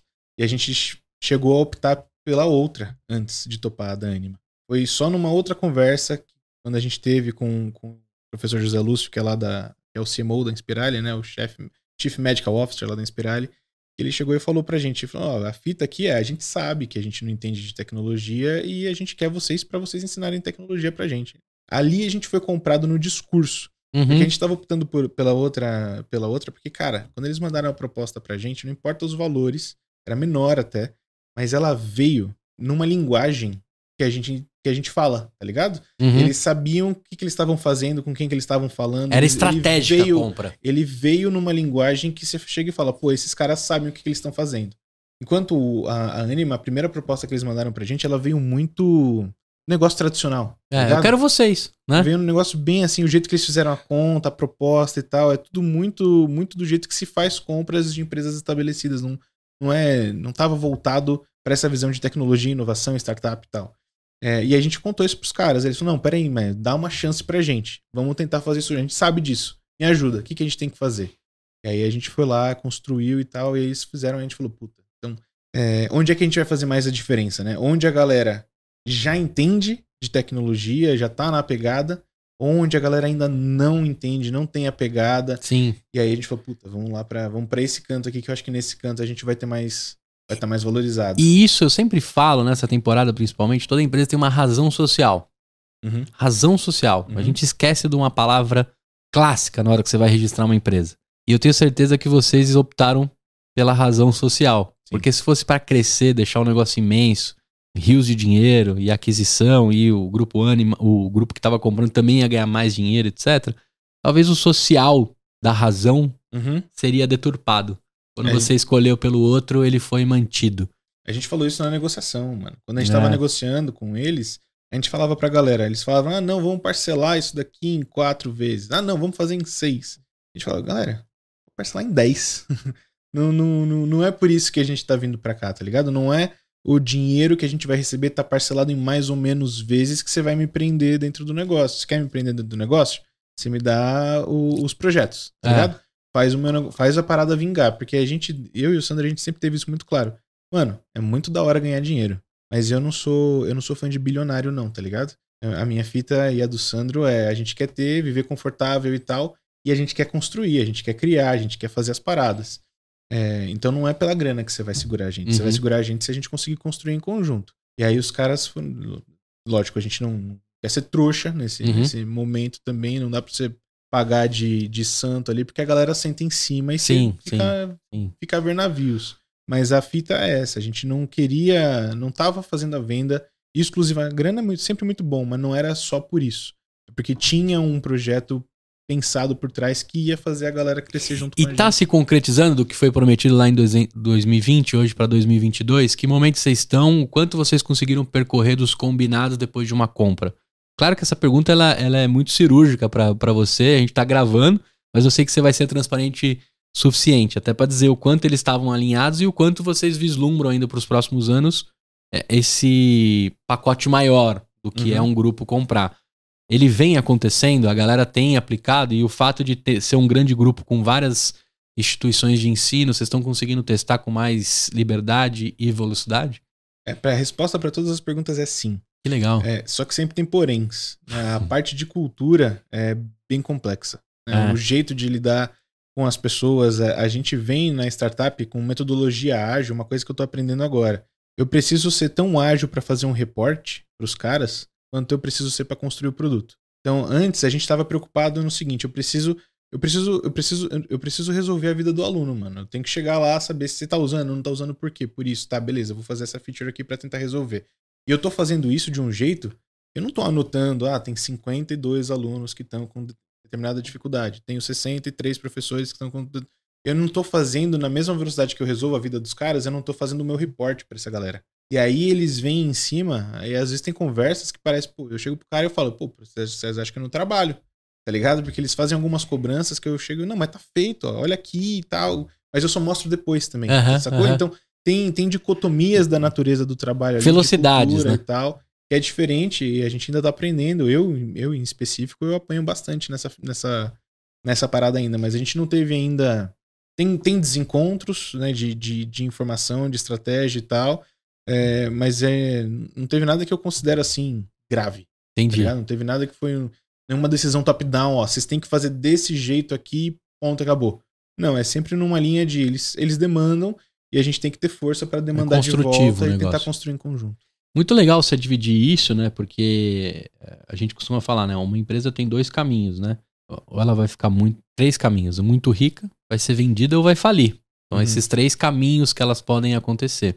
E nem todo mundo está pronto para discutir sobre a venda. Vocês tiveram um insight e se, né? Uhum. Isso é legal também para quem está ouvindo, porque você não começa a criar uma empresa agora para vender. Tem gente que faz com esse objetivo, né? Cria a empresa, constrói para vender, né? E, e quando você conclui uma dessas, quais são os próximos steps? Como é que você se mantém vivo dentro daquilo? Né? Tem até alguns contratos que amarram vocês em non-compete e tantas Isso. outras coisas que também quem está comprando né, Tem alguma garantia. quer, quer alguma garantia Uhum. também, né? Não, é, é o, não, não existe almoço grátis, né? Sim. No freelance, como os americanos tanto falam. Agora, é legal você dividir isso, porque já se passaram dois anos e uma pandemia que a gente ainda não pode falar que passou, mas você já, você já passou pela arrebentação, a construção, e tá agora, a gente tá em movimentos de voltar né, à normalidade, uso da máscara, se bem que agora a gente tá nesse exato momento com talvez um avanço e um crescimento dos números. Sim.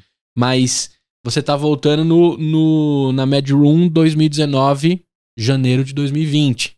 Quando tinha lá um cheque até Uhum. assinado de Series E da parada.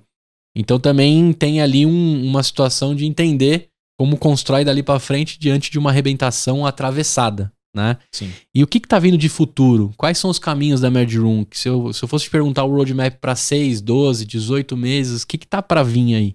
A gente tem. Eu tô, eu tô até tentando vender isso internamente lá na, lá na Anima também, que é. É. o seguinte: 2023 tem que ser o ano da inteligência artificial pra gente. É, então a gente passou construindo várias experiências. A gente fez vários testes esse ano também com IA e tal.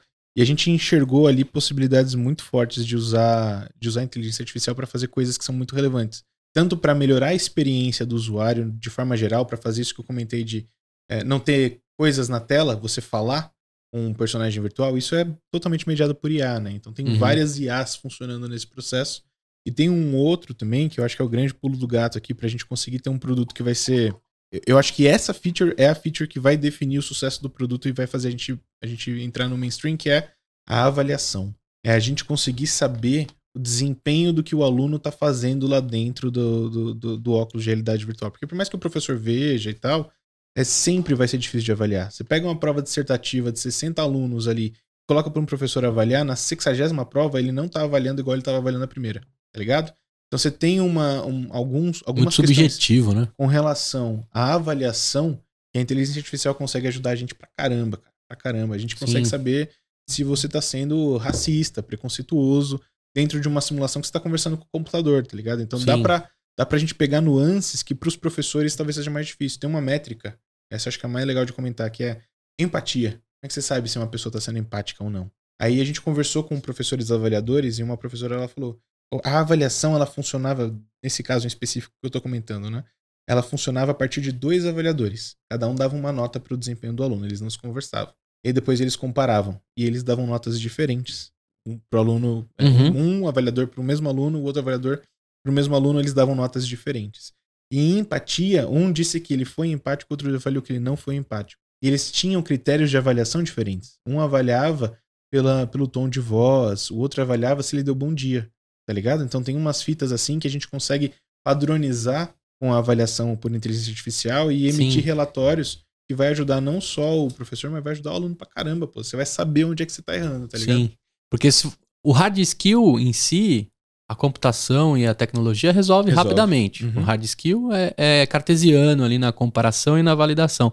Agora, o soft skill é doideira, né? Você botar pra inteligência avaliar, né? Pelo tom de voz, pela até pelo pela rapidez da resposta, tem várias coisas ali no meio.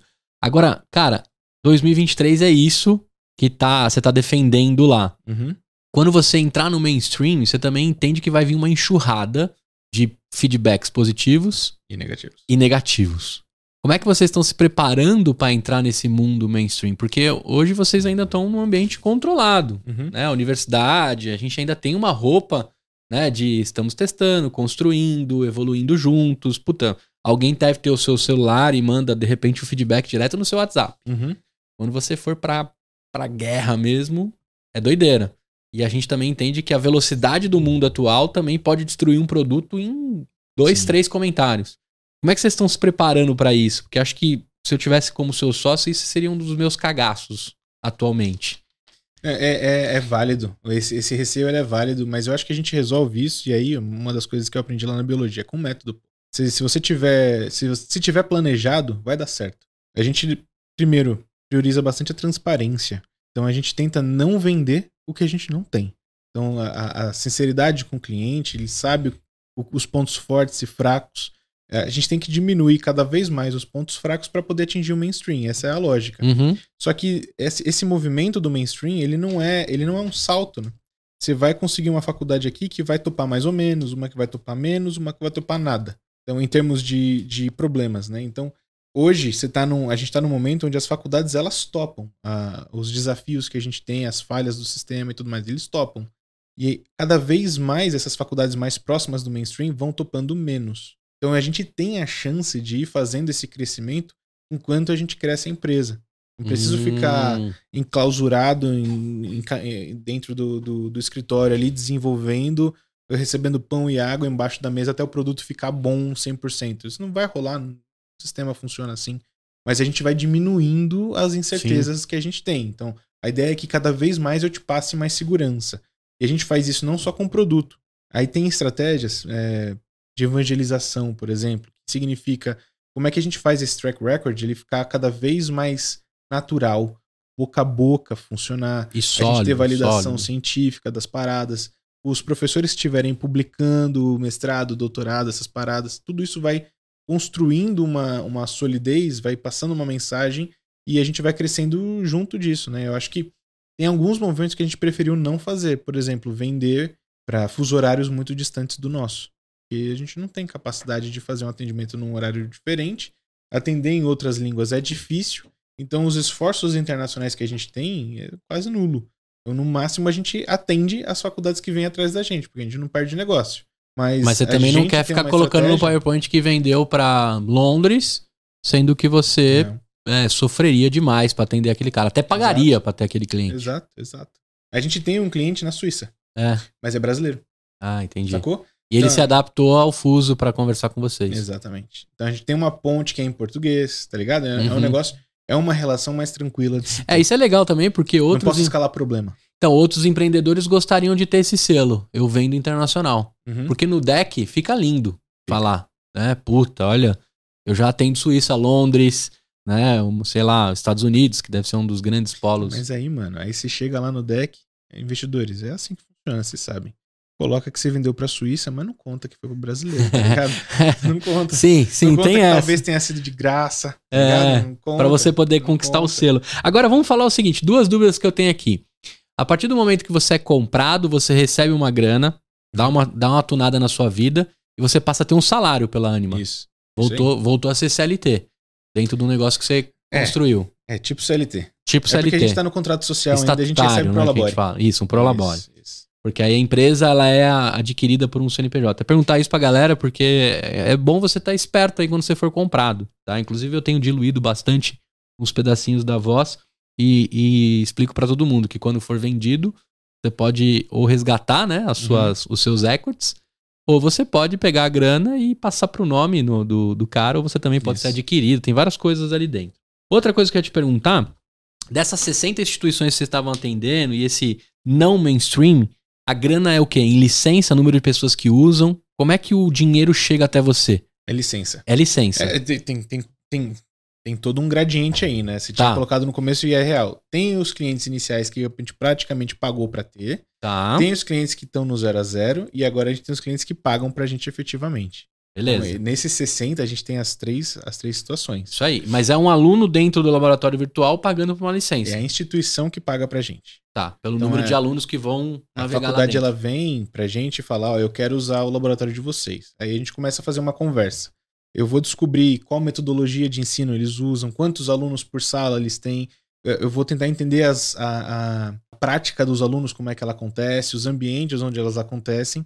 E aí a gente vai chegar num número de, de estações de realidade virtual.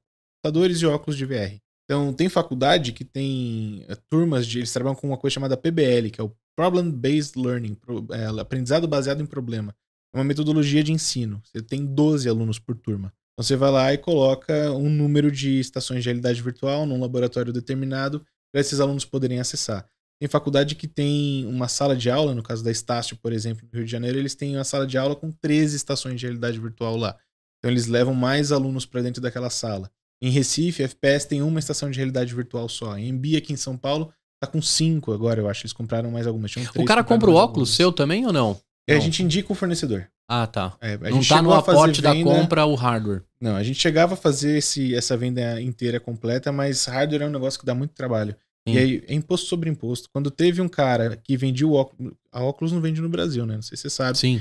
Os caras não gostam muito daqui, não. Então a gente tinha que importar.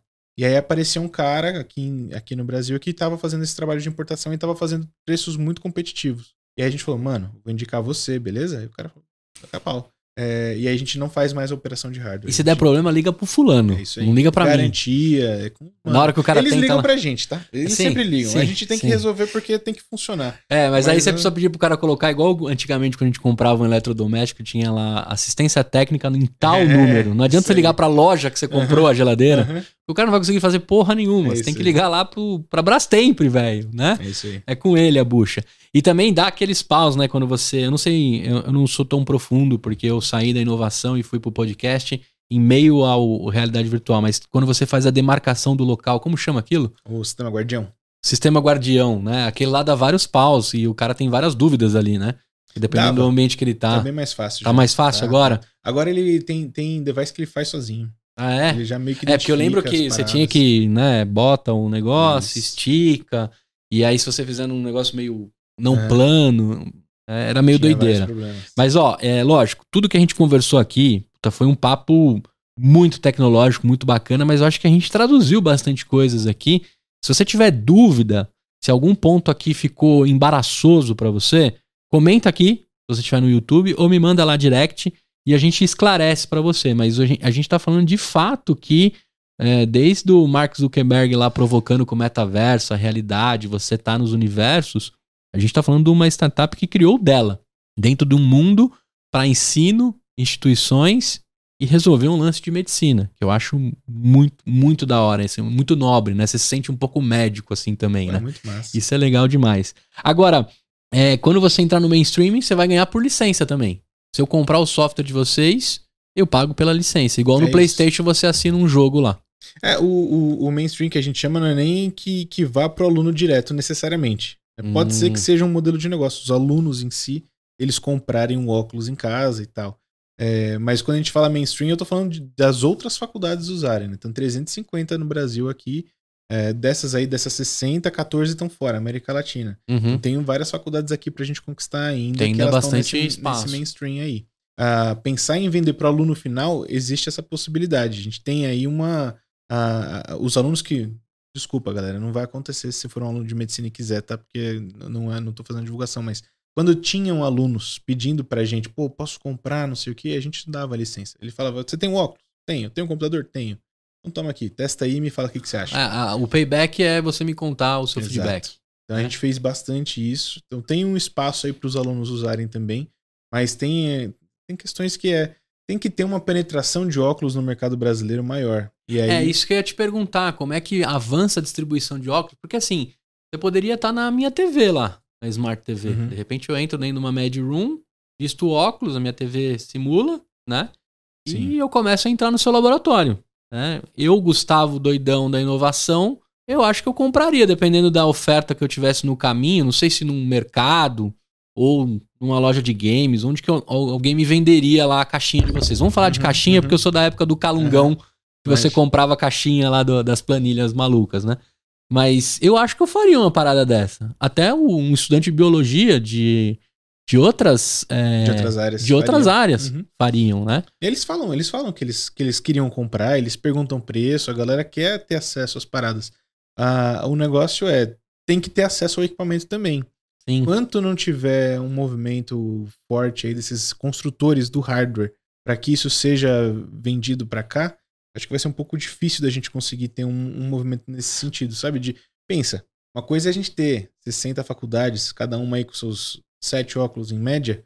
Você tem 7 vezes 6 já 42, 420 óculos no total. Uhum. Esse é o suporte técnico que você tem que dar. Só no, só no, no- na- alunos de medicina que a gente tem na base deve estar por volta de 30 mil. Então, se você fosse fazer uma venda direta para o aluno, você ia sair de um suporte de 720 para 30 mil. É Sim. uma escala que esse fornecedor de óculos, por exemplo, não tem como, absorver. Sim. Precisa de um envolvimento da. É, mas tem, tem também um hardware. lance que é muito legal, né? Se formam as comunidades, os ajudas, os fóruns, né? A galera que é early adopter Uhum. dessas paradas costuma se resolver muito antes de ligar o 0800. sim. Isso também é legal, né? Mas a gente não pode contar com isso. Sim. né? Não dá pra você colocar. O Excel aceita tudo, mas isso não dá pra colocar. Agora eu tô pensando numa doideira aqui, né? Tipo, nenhum fabricante brasileiro tá se envolvendo com VR ainda. De criar. Tem, assim, Nem a tem- Multilaser que faz tudo. Se eu me lembro direito, a Multilaser tinha a ideia, na verdade, de produzir com alguém. Eu não me lembro com quem agora. Eu lembro que a Lenovo também tava, tava para fazer alguma coisa nesse sentido. É, mas não. tem- tem- acho que quem chegou mais próximo de fazer essa distribuição nacional foi a HP. Eu não sei se eles continuaram com o projeto ou não, mas o óculos deles, é, acho que ele foi até descontinuado, não me lembro agora. É, mas foi o pessoal da Qualcomm também. A Hum. Qualcomm chegou a ter distribuidor no Brasil para vender óculos.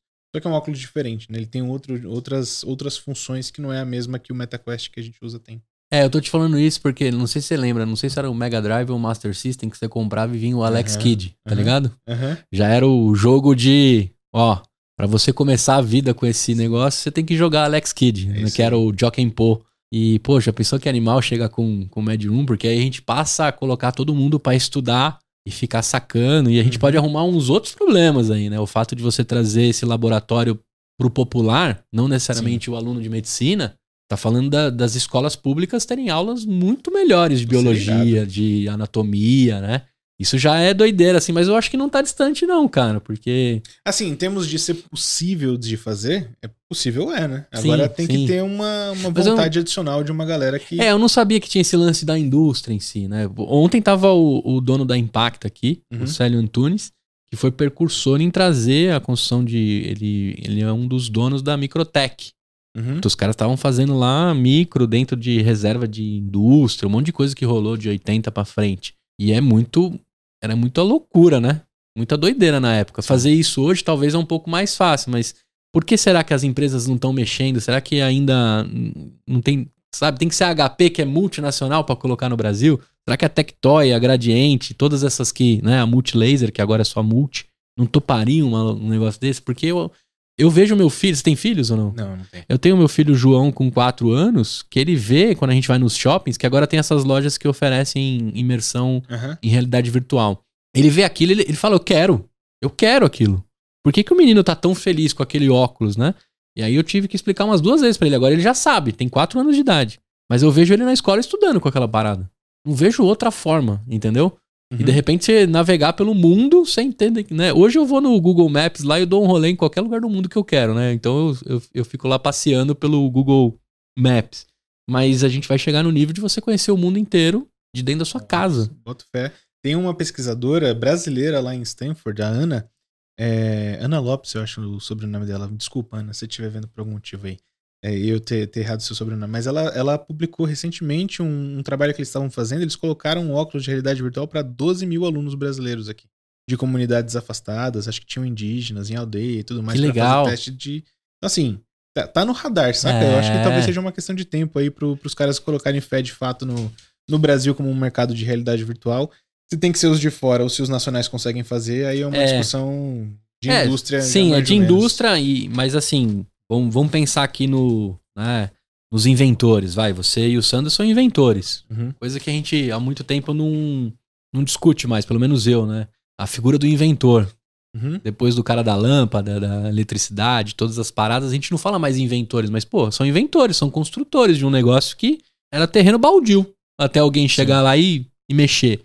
Agora, se a gente chega nessa realidade, puta, cara, a gente tá falando de muita coisa que pode vir junto com esse progresso, né? E tá perto. Uhum. O 5G tá quase se resolvendo. A internet por satélite, o doidão lá que tá, tá É. dando uma zoada no Twitter, também resolveu, né? Uhum. Então tem muita coisa acontecendo que, se bem usado com inteligência, a gente pode ter um mundo tecnológico e ter progresso para quem não tem acesso. É. Aí tem outras discussões, né? Se. né, eu sou da época que comprar um notebook você tinha que ter muita grana. Hoje já não tem que ter tanta grana. Uhum. Eu também sou da época que o desktop fazia parte da minha vida. Acho que já faz uns oito anos. Quando você falou aqui, eu até lembrei. Meu Deus, eu carregava um desktop para a empresa que eu trabalhava. Isso é muito, isso é muito raiz, tá É. ligado? Então a gente já vive um momento muito diferente. E agora todo mundo tem uma paradinha na palma Sim. da mão. Então não é doido, não. É bem futurístico, sonhador aqui o negócio, mas eu acho que tá muito perto. E os nossos filhos vão ver. Ah, o filhinho ou a filhinha do Sandro tá com quanto tempo agora, então? Ela tá. Ela nasceu em 2016, ela tá. ela vai fazer seis anos. Seis aninhos anos. aí, olha que É. legal. Então o Sandro vai saber do que eu tô falando, que Mas os ele- filhos. Ele tem um de 20 também. Ele tá? tem um de 20? É, mas essa, o- essa daí chegou bem de surpresa. mesmo. Entendi. Mas, Sandrão, você tá ligado que filho traz o pãozinho debaixo do braço, né? Bem no momento ali, a sua esposa grávida, num salto de fé, pra ver também como as bênçãos dos nossos filhos de trazer o progresso e a prosperidade. Cara, agora entrando no final com muita dor, porque estão brigando comigo que ontem eu entreguei o estúdio muito em cima. Apesar de ser meu, eu não, eu não mando, tá ligado? Já viu isso, né? Você é dono, mas não manda. é. Tá tranquilo. É, cara, se você fosse colocar assim o grande pulo do gato da sua vida, qual qual momento você elegeria aí como como o seu grande pulo do gato? Não precisa ser empreendedor, mas da sua vida. Ah, mano, é, é difícil pensar num em específico, mas talvez o que mais teve impacto foi ter entrado no curso de biologia. Então, pode ser, pode parecer que não, de novo, né, não, não tô usando conhecimentos em zoologia, em biologia molecular e tudo mais, mas quando eu entrei no curso de biologia, eu abri a minha cabeça para muitas coisas diferentes. Eu, eu tinha feito duas faculdades antes. Eu comecei construção civil e análise de sistemas. Fui tentar fazer programação, essas paradas aí. E eu descobri que eu não curtia muito a ideia de. Eu queria coisas mais profundas, tá ligado? E aí eu fui atrás conversando com professores lá do ensino médio ainda. Ele falou, mano, você quer ciência, tá ligado? Vai lá e vai estudar uma ciência. Eu falei, pô, é isso que eu vou fazer. Aí, dentre as ciências, física, química, matemática e tudo mais, eu acabei indo pra biologia, porque pra mim ela é uma manifestação das demais. Uhum. E, pô, eu consegui fazer muita coisa, aprender muita coisa com relação a como eu, como eu me enxergo mesmo, tá ligado? Como coisa de, de vida mesmo, assim, que me guiou pros caminhos que eu, que eu tomei. Então, acho que a grande.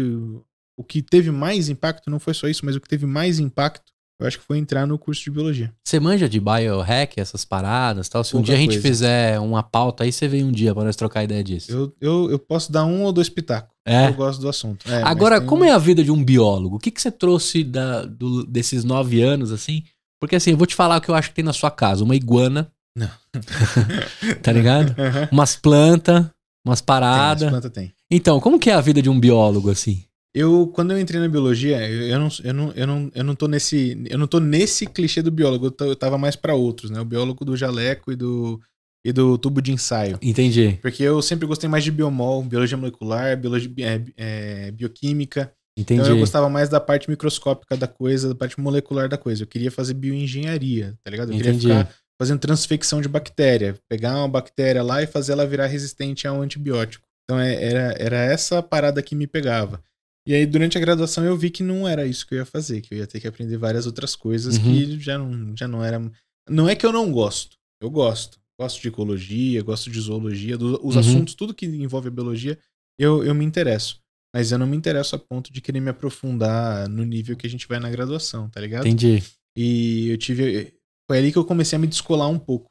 Teve, talvez, do desse ser biólogo, tem. Acho que a, a, a principal coisa mesmo, assim, que, eu compartilho com os meus colegas biólogos é a forma de pensar e enxergar o mundo.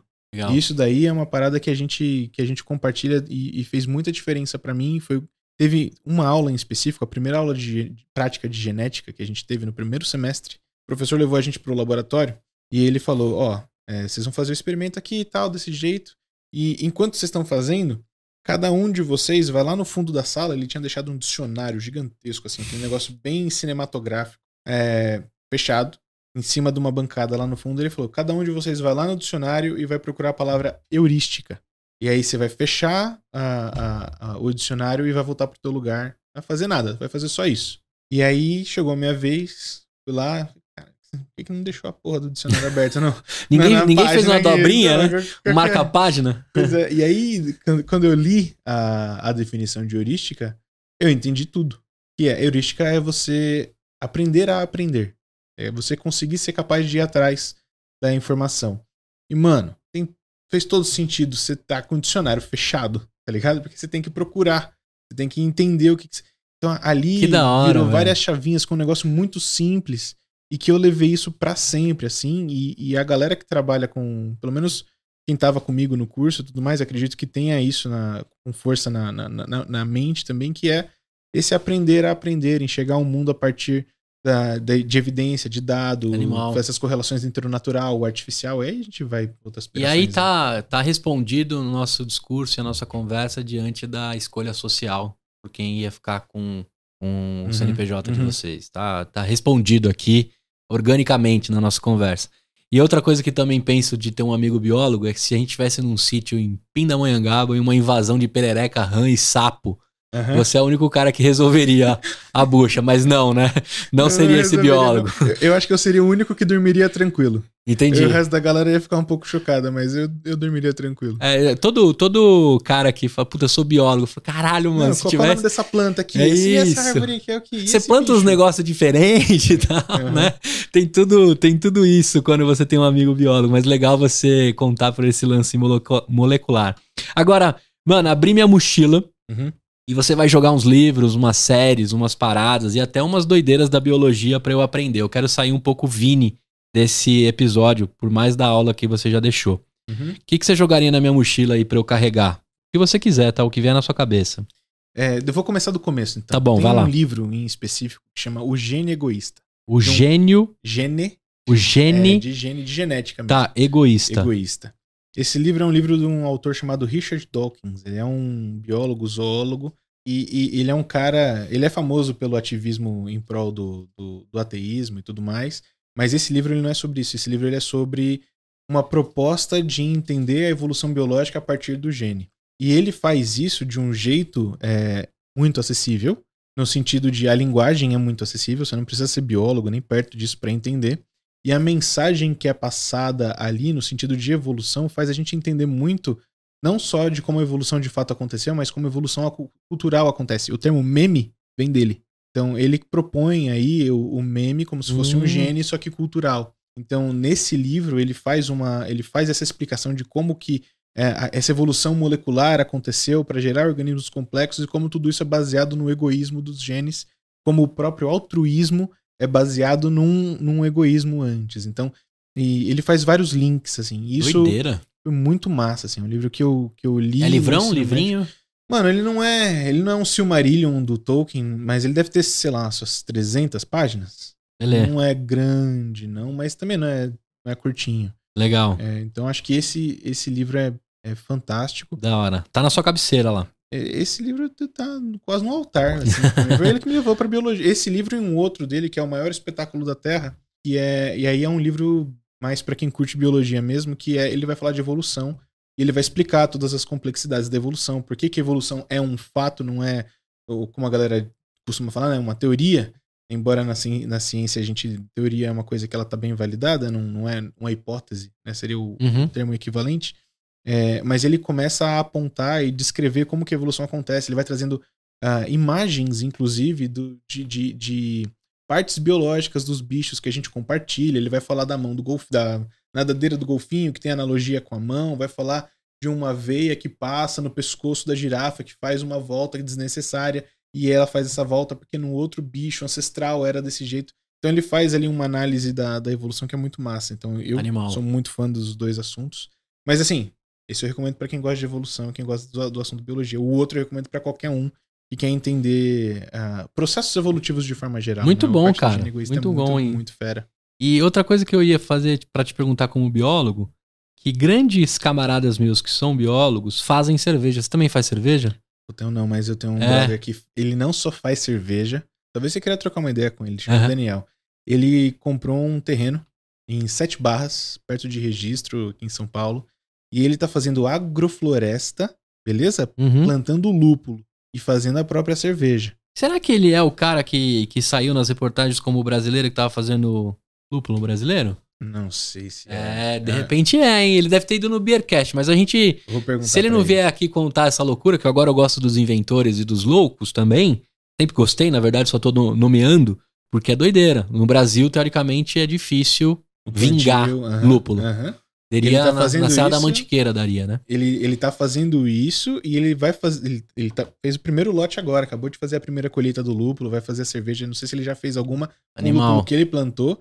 É, e ele vai, ele fez o teste, tá dando certo até, até agora, e eu, eu sei que ele vai implementar um sistema de agrofloresta. Então tem uma outra pegada que não é só plantar cerveja, plantar lúpulo para fazer cerveja, tem uma pegada que tem a ver com as discussões aí de agro, com eleição e tudo mais, ficou Sim, super em voga, né? Então, assim, o futuro do, do agro é a agrofloresta, mano. Se a gente tá falando de, de sustentabilidade, de clima, de conservação, Mano. preservação, essa é a fita. Quero conhecer o Dani. E eu te perguntei disso porque você falou da microbiologia, Uhum. do, das bactérias, e a cerveja tem esse, Tem. tem esse lance, né? De ver os bichinhos ali transformar aquelas Ciência paradas, ciência pura em, um, em umas brejas animais. Eu nem tomo mais bebida alcoólica, mas eu apresentei o Beercast por quase sete anos. Foi o meu Ah. primeiro podcast. E eu aprendi por osmose, assim, né? Uhum. A microbiologia também era muito animal. Irado. Por último, é, eu te perguntaria, além do Daniel, que já está convidado, Dani, pra gente falar dessa, desse lance do agro, agrofloresta, e eu te apresentar mais uma galera aí que também pode é, impulsionar esse seu projeto, que, que você me dá aqui de próximo nome ou a, a- uma mina ou um cara aqui que tem que contar a história na próxima temporada? Mano, tem uma galera, deixa eu pensar aqui. Pode falar. Tem a.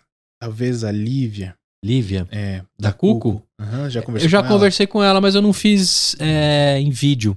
Ela fez recentemente, talvez, mesmo que você já tenha conversado se faz tempo, ela fez a, um M&A também. Ah, Lívia. Um Pharma, acho que foi o RD, não lembro. Lívia Mas vai é- voltar. Então, essa aqui, essa aqui já tá garantida. A Lívia, puta, eu fui lá no Cubo conhecer ela. A gente já fez negócio, quase fez negócio junto na Sul América. Então, Lívia, mas me fala mais um nome. De preferência, a mina. Eu tô precisando de umas minas aqui, Tem- empreendedoras. Talvez a. Ah, como é que é? Oh, meu Deus. Tatiana, da Vitude. Opa, a Tati da Vitude, tô devendo. também? Boa, Tati manda da bem. Vitude também é uma boa. Engenheira que foi se aventurar na, no mundo da psicologia por vídeo, né? Isso. Muito bem. Tati da Vitude, você está convidada, já está no meu, meu roadmap há muito tempo. Eu tive uns encontros de agenda, mas agora vai. E a Lívia vai atualizar sua reportagem comigo aqui, sua entrevista comigo.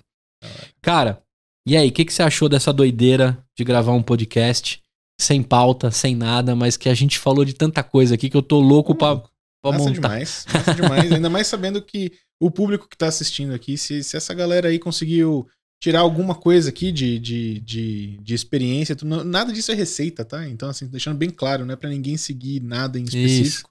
Mas no máximo se inspirar aí. Se a gente conseguiu fazer isso com, com alguém, surgiu uma ideia nova aí, novos inventores, alguém conseguir gerar um negócio a partir do que a gente tá, pelo menos, inspirado no que a gente conversa aqui, eu fico feliz demais. É Conta isso aí. comigo sempre. Vini, adorei e vou te falar, cara, eu gostei muito do, de como você tira o romantismo da parada. É, que precisa. trazer né? a realidade. A gente tá precisando disso. Tem muita coisa de palco. Eu já me deparei com algumas entrevistas que você percebe que era mais o palco do que a solução. Uhum. Mas quem é cachorro, né, mordido por cobra, tem medo de, de- até de linguiça, quem é gato escaldado, quem já viu e quem empreende sabe. E o romantismo ele até existe, mas é na narrativa que você conta Uhum. né? E diante disso, a gente dá um baita valor pros fracassos. Eu queria só que você me elencasse assim, puta, Gu, esse foi um fracasso que dói, eu aprendi, não faço mais. Você tem algum aí guardado contigo? Mano, tem vários. É. Esse, esse, esse da Covid foi um, foi um vacilo muito grande. Nosso mesmo, meu, do Sandro. É, porque a gente tava contando com uma parada que não. Se não tá. A gente aprendeu. A lição é: dinheiro sempre atrasa. Beleza? Você fechou um contrato hoje, tá previsto pra ser pago sete dias, esquece. Ele vai atrasar. Pode estar escrito no contrato, pode estar Dinheiro onde for. sempre atrasa. Dinheiro sempre atrasa. E a gente aprendeu isso a duras penas. A gente teve que fazer um- um- uns movimentos aí, porque a gente contava com palavra de investidor, contava com palavra de cliente, e às vezes não rolava, tá ligado? Então, ali eu, essa parte do risco ficou muito mais claro pra mim depois desses momentos assim, de tipo, Perfeito. eu preciso contar com o que tá. com- eu preciso contar. Se der errado, o que, que eu faço? É mais ou menos isso, tá ligado? Eu preciso ter um plano pra se der errado. Não é um plano só pra se dar certo. Se der errado, o que, que acontece? Muito bom. Cara, essa frase vai, na próxima sala do Empreendacast, vai estar tatuada lá, pintada. Dinheiro sempre atrasa. E por último, quem ficou maluco desse papo, começou a pesquisar pra tudo que é lado, seu nome, sua empresa, os temas, os livros, mas quer trocar uma ideia contigo, quais os caminhos pra conhecer a Mad Room e também o Guzmão? A média, ela tá em todas as redes sociais. Eu acho que a gente só não tem TikTok ainda, mas. Ainda. ah, ainda. mas pode jogar lá Instagram, LinkedIn, Facebook. Acho que o mais interessante pra quem quiser conhecer mais é YouTube. Então joga lá no YouTube, porque é, é vídeo, né, mano? O vídeo sempre dá uma. Sim, sim, esclarece. Pra, pra, pra gente, pra gente ver produtos que são visuais, você tem que dar uma olhada no vídeo. Só na conversa aqui fica mais complicado. E comigo, pô, me acha no LinkedIn lá, manda uma mensagem. Eu, eu tenho uma. Eu tenho uma dívida com o ecossistema. Porque eu fui muito ajudado pela galera, tá ligado? Eu fui muito ajudado. Então eu, eu quero devolver isso pras Muito pessoas. bom. E eu tento, na medida do possível. Se eu tenho agenda, eu troco ideia. Muito mais bom. ou menos isso. Então, todos os dados, os links e tudo que a gente conversou aqui embaixo nos comentários. Se você tá no YouTube, se você veio pela rede do Vini e tá aqui conhecendo o Empreendacast, saiba que eu faço isso com a maior paixão e te convido a conhecer todos os malucos e malucas que eu já conversei aqui. Praticamente um MBA gravado, né, de todas as histórias. A gente leva os fracassos, a gente aprende, a gente discute, mas principalmente a gente entende que na construção da abundância, né, desses empreendedores, dessas dessas vontades que a gente vai melhorar esse país. Não é gerar riqueza, é gerar abundância para todo mundo se dar bem, para todo mundo ganhar grana. E se você tá precisando de ajuda, por favor, comente em algum lugar aqui como é que eu posso te ajudar e que convidado traria algum insight para você. Beleza? Segue lá no YouTube, você que já me conhece do Spotify de muito tempo, saiba que dá para ver o nosso rostinho lá, conhecer a gente e a vibe que a gente ficou aqui dessa gravação. Vini, dá um tchau pra galera aqui e obrigado demais por tudo e por esse episódio. Eu que agradeço, Gustavo. Obrigado por todo mundo que assistiu de novo. Se a gente conseguiu ajudar alguém a alguma coisa, pelo menos inspirar um pouquinho, dar algum, alguma luz, é, eu já fico feliz pra caramba. E se eu conseguir ajudar, pode me procurar que a gente troca uma ideia. Muito bom. Te vejo no próximo episódio com mais um maluco, mais uma maluca, mas de alguma forma tentando te ajudar a transformar você nesse empreendedor, nessa empreendedora. Até a próxima e tchau!